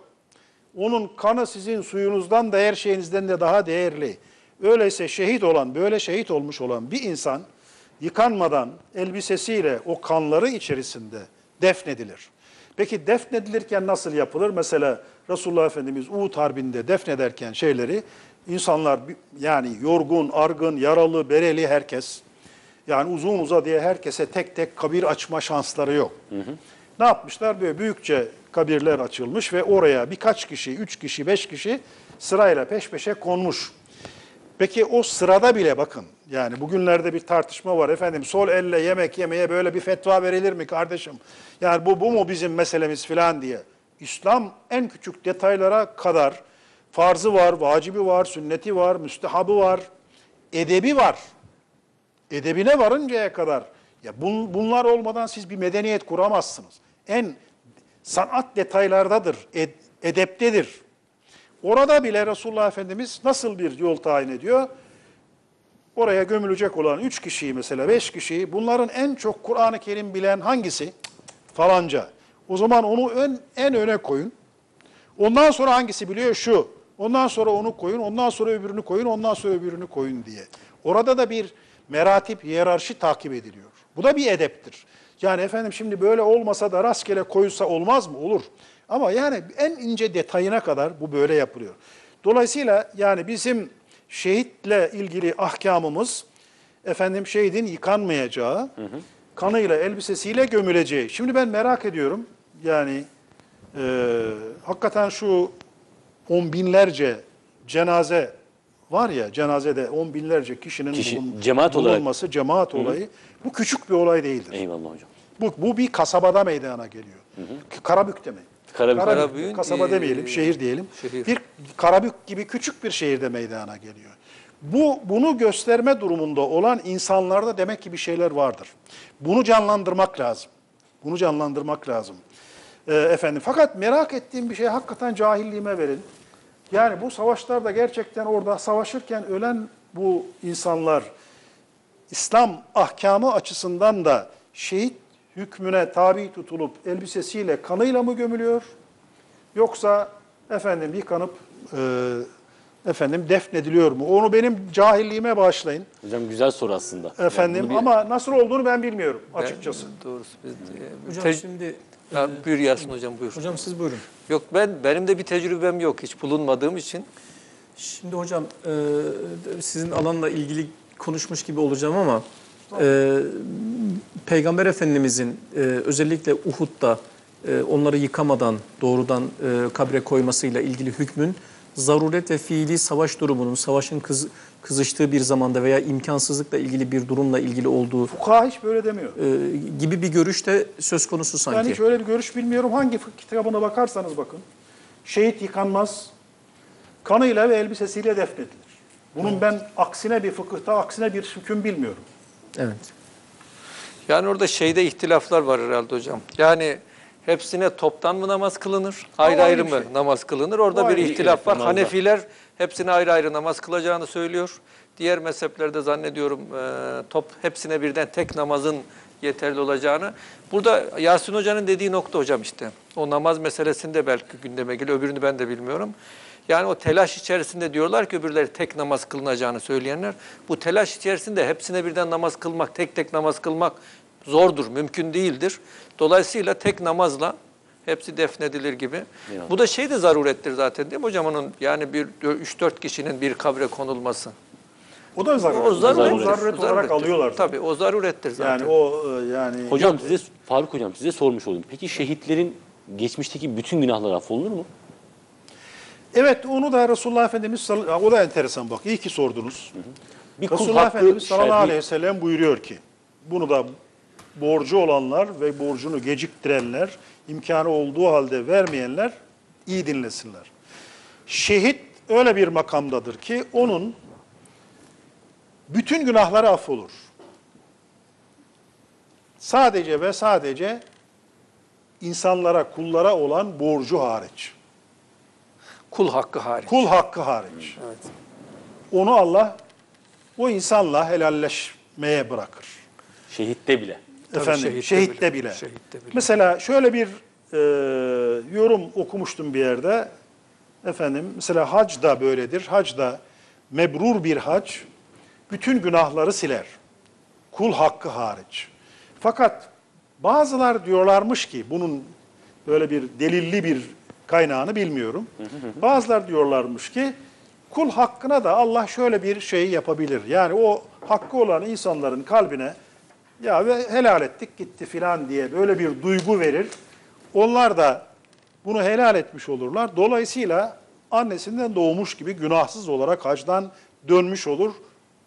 Yani eğer böyle üstesinden gelemeyeceği bir takım kul hakları da olmuş olsa bile. Fakat burada genel prensip kul hakkını Allah sadece o kulun bağışlamasını, affetmesine bağlar. Geriye kalan günahları Allah kendisiyle ilgili olan her günahı affeder. Hatta, Hatta hocam şunu da söyleyelim.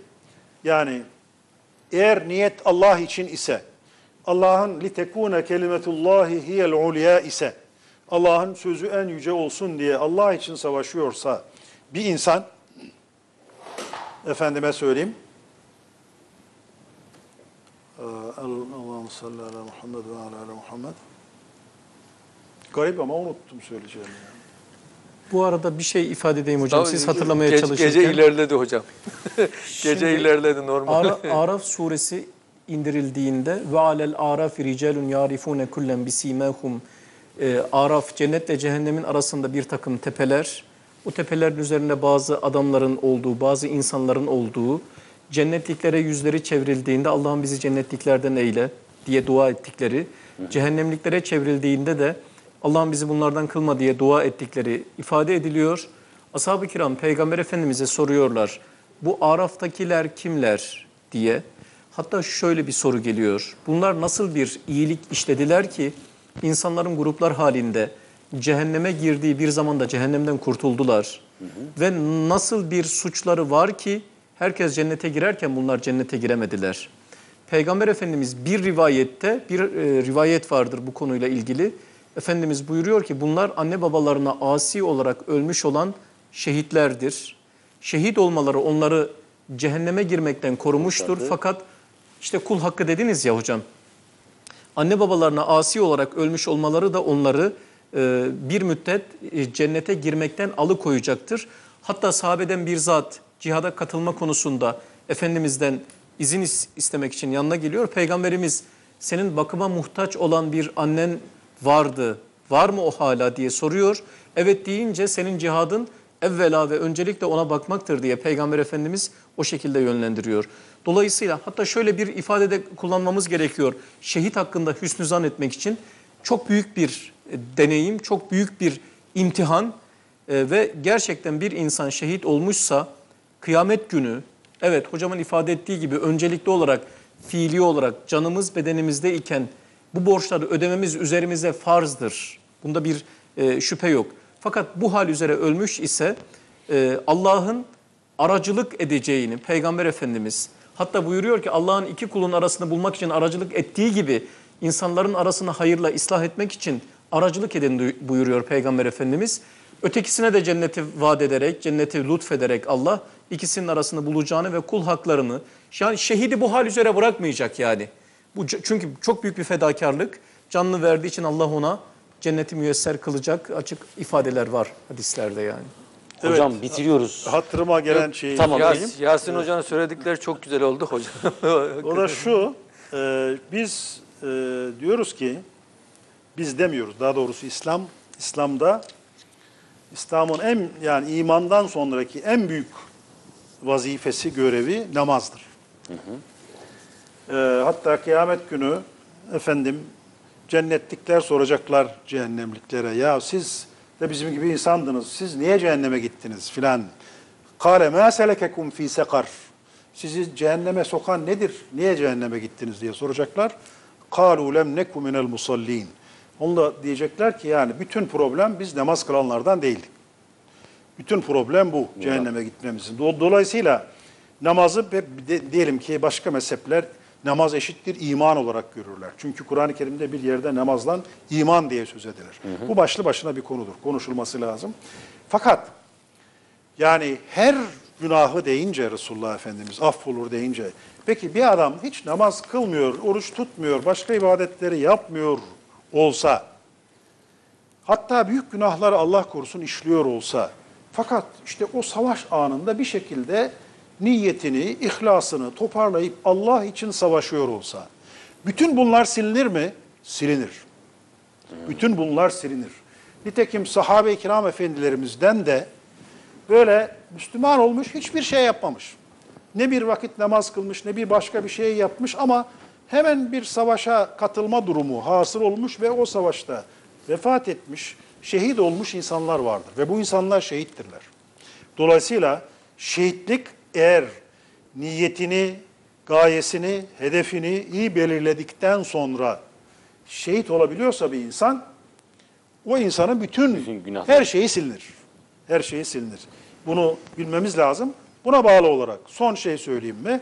Efendimiz sallallahu aleyhi ve sellem buyuruyorlar ki bir insan ben bunu kendimi çok denedim ve içten yapamadım. Demek ki çok iyi bir Müslüman değil miyim yani acaba? Mümin olduğumda şüphe yok ama Estağfurullah. yani bir insan halis, muhlis, gönülden, içten kendisi bilir, başkası bilmiyorsa da.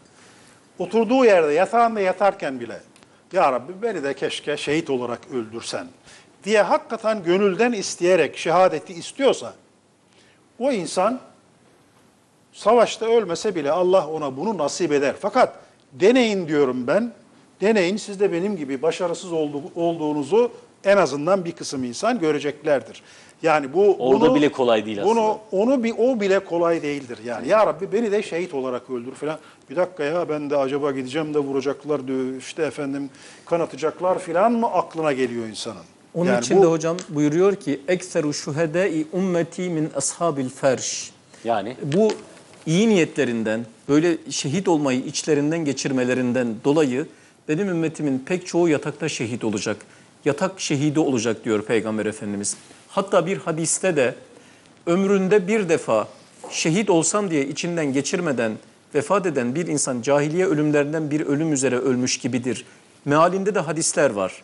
Aslında işte biraz önce ifade ettik biz Fatiha suresinin açılımını yaptığımız zaman biz aslında şehadet konusunda bir iç telkin yapıyoruz. Çünkü şehadet bir bağışıklık mekanizmasıdır. Yani işte zor söz konusu olduğunda, bir tasallut söz konusu olduğunda bütün varlığınıza, vatanınıza, bütün manevi değerlerinize şehadet bir savunma mekanizmasıdır ve koruyacaktır. Bu, bu değerden uzaklaşıldığında İslam'ın yaşamasının, dinin yaşamasının, dindarlığınızın var olmasının, namusunuzun, iffetinizin kaim olmasının imkanı söz konusu değildir zaten yani. hocam siz de muhabbetin en tatlı kısmını sona saklamışsınız. evet. Yani mevzu bitti aslında şey, saat olarak bitirdik programı. Çok teşekkür ediyorum hocam. Eyvallah. Eksik Allah razı olsun. Ekleyecek bir şeyiniz varsa Size teşekkür hani sizi ediyorum. buraya kadar Böyle bir- yorduk bu saatte. Ee, bilgiler edindik arkadaşlardan. Allah razı olsun. Efendim güzel bir program oldu. Ben Eksik öyle zannediyorum. inşallah. İnşallah, Allah da e, karşılığını verecektir İnşallah diye hocam. ediyoruz. İnşallah. Çok teşekkür ederim. Yasin hocam. Eyvallah. Böyle Çok teşekkür ediyorum. Hocam. razı olsun. Sizlere. Evet ben hocam hocamın son sözler olarak tabii şey sizleri e, sizi de söylemek istemem. Hocalarımız Yasin hocam, e, Hocam, Faruk hocam çok güzel şeyler söyledi. istiyorum. Şöyle söyleyeyim ben, şehit e, başkasını düşünen insandır. Çünkü şehit bakın gidiyor insanlar adına, insanların yerine kendisini feda ediyor. Bu Kur'an-ı Kerim'de çok güzel anlatılır. Yasin suresinde bir şehit anlatılır orada. İkinci surede hemen şehide de kıyle ona denilir ki şehit olduktan sonra melekler diyor herhalde e, edhil el cennete qile edhilil cennete cennete gir denilir. Fakat o geri, geri dönüp insanları düşünür ve şöyle der. Ya leyteni kavmi ya'lemun. Keşke kavmim benim cennete girdiğimi bilse. Yani onlar benim ne kadar iyi bir durumda olduğumu bilse hatta devam ediyor. Peki cennete girdiğinde ne oluyor? Bima gafera li rabbi. Rabbim beni bağışladı ve cealeni minel mukramin. Bana ikram edilen, beni ikram edilen kullarından eyledi. Keşke kavmim bunu da bilse. Benim ne kadar iyi bir durumda olduğumu. Dolayısıyla şehit dediğimiz sadece kendini düşünen insan değil. Şehit arkasını düşünen insandır. Ve bu yüzden çok büyüktür. Bununla Peki buna e, hocam çok güzel bir şey söylediniz. E, aklıma bir şey geldi. Şehit ne hisseder acaba? Yani şehit Hocam dedim ya şehadetinin muhabbetin en güzel kısmını şehit saklamışsınız. şehadetinin ilk anı ne hisseder? Biraz önce okuduğunuz böyle tahsebennellezine kutilu fi sebilillahi envate. Allah yolunda öldürülenleri ölüler sanmayın. Allah katında onlar rızık elde ediyorlar, rızıklandırılıyorlar ifadesinden sonra Allah buyurur ki şehit ne hisseder? Ferihine bima atahumullahu min fadlihi.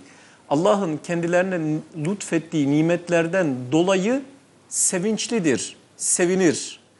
Peygamber Efendimiz, Peygamber Efendimizin duasıdır bu, özentisidir. İsterdim ki şehit olayım, sonra tekrar dirileyim, sonra tekrar şehit olayım. Böyle devam etsin. Sevinir ve bir şey vardır, bize bir mesajı vardır. Yani şehidin geride kalan müminlere bir mesajı vardır. O da şudur.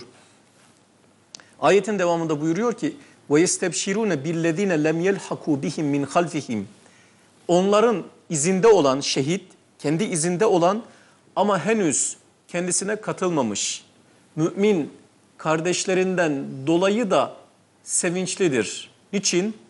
اَلَّا خَوْفٌ عَلَيْهِمْ وَلَهُمْ يَحْسَنُونَ Onlara da hamdolsun, onlar da benim izimdeler. Onlar da şehadet izindeler. Onlara da bir korku ve hüzün yok diye sevinirler. Onun için ben diyorum ki şehidi üzmek isteyen şehitlerin bıraktığı mirasın o yoldan, o istikametten ayrılsın. Şehidi ve şehidini ihya etmek isteyen onların üzerine ittiba etsin, onların yolu üzerine. Akif diyor ki şu gördüğün sanma vatan, şu gördüğün kabristan aslında üzerinde yaşadığımız vatan dediğimiz şey şehitlerle şehitlerden müteşekkil bir kabristan ve onların hatırasına sadık kalmak belki de şehidin ruhunu şad etmenin dünyadaki e, insanlar arkalarındaki müminler tarafından şad edilmesinin en temel noktasıdır. Şehit dünyadaki insanların kendisine ittiba etmesiyle, yoluna, ülküsüne, davasına bağlı kalmasıyla mutlu olur, mesrur olur. Ayette bunu ifade ediyor. Eyvallah. Cafer hocam bir kez daha teşekkür etmiş olayım hocam. ben teşekkür ederim. Ee, çok ben çok istifade ettim İnşallah. hocamdan da. İnşallah hocam. Teşekkür ediyorum. Çok sağ olun. Efendim bir programın daha sonuna geldik. Haftaya görüşmek dileğiyle bu vakte kadar bizlere eşlik ettiniz. Eksik olmayınız. Biraz uykusuz kalıyorsunuz cuma geceleri ama işte ne yapalım? Birlikte hocalarımızı dinliyoruz burada keyifle. Haftaya görüşeceğiz inşallah. Allah'a emanet olunuz. Hayırlı geceler.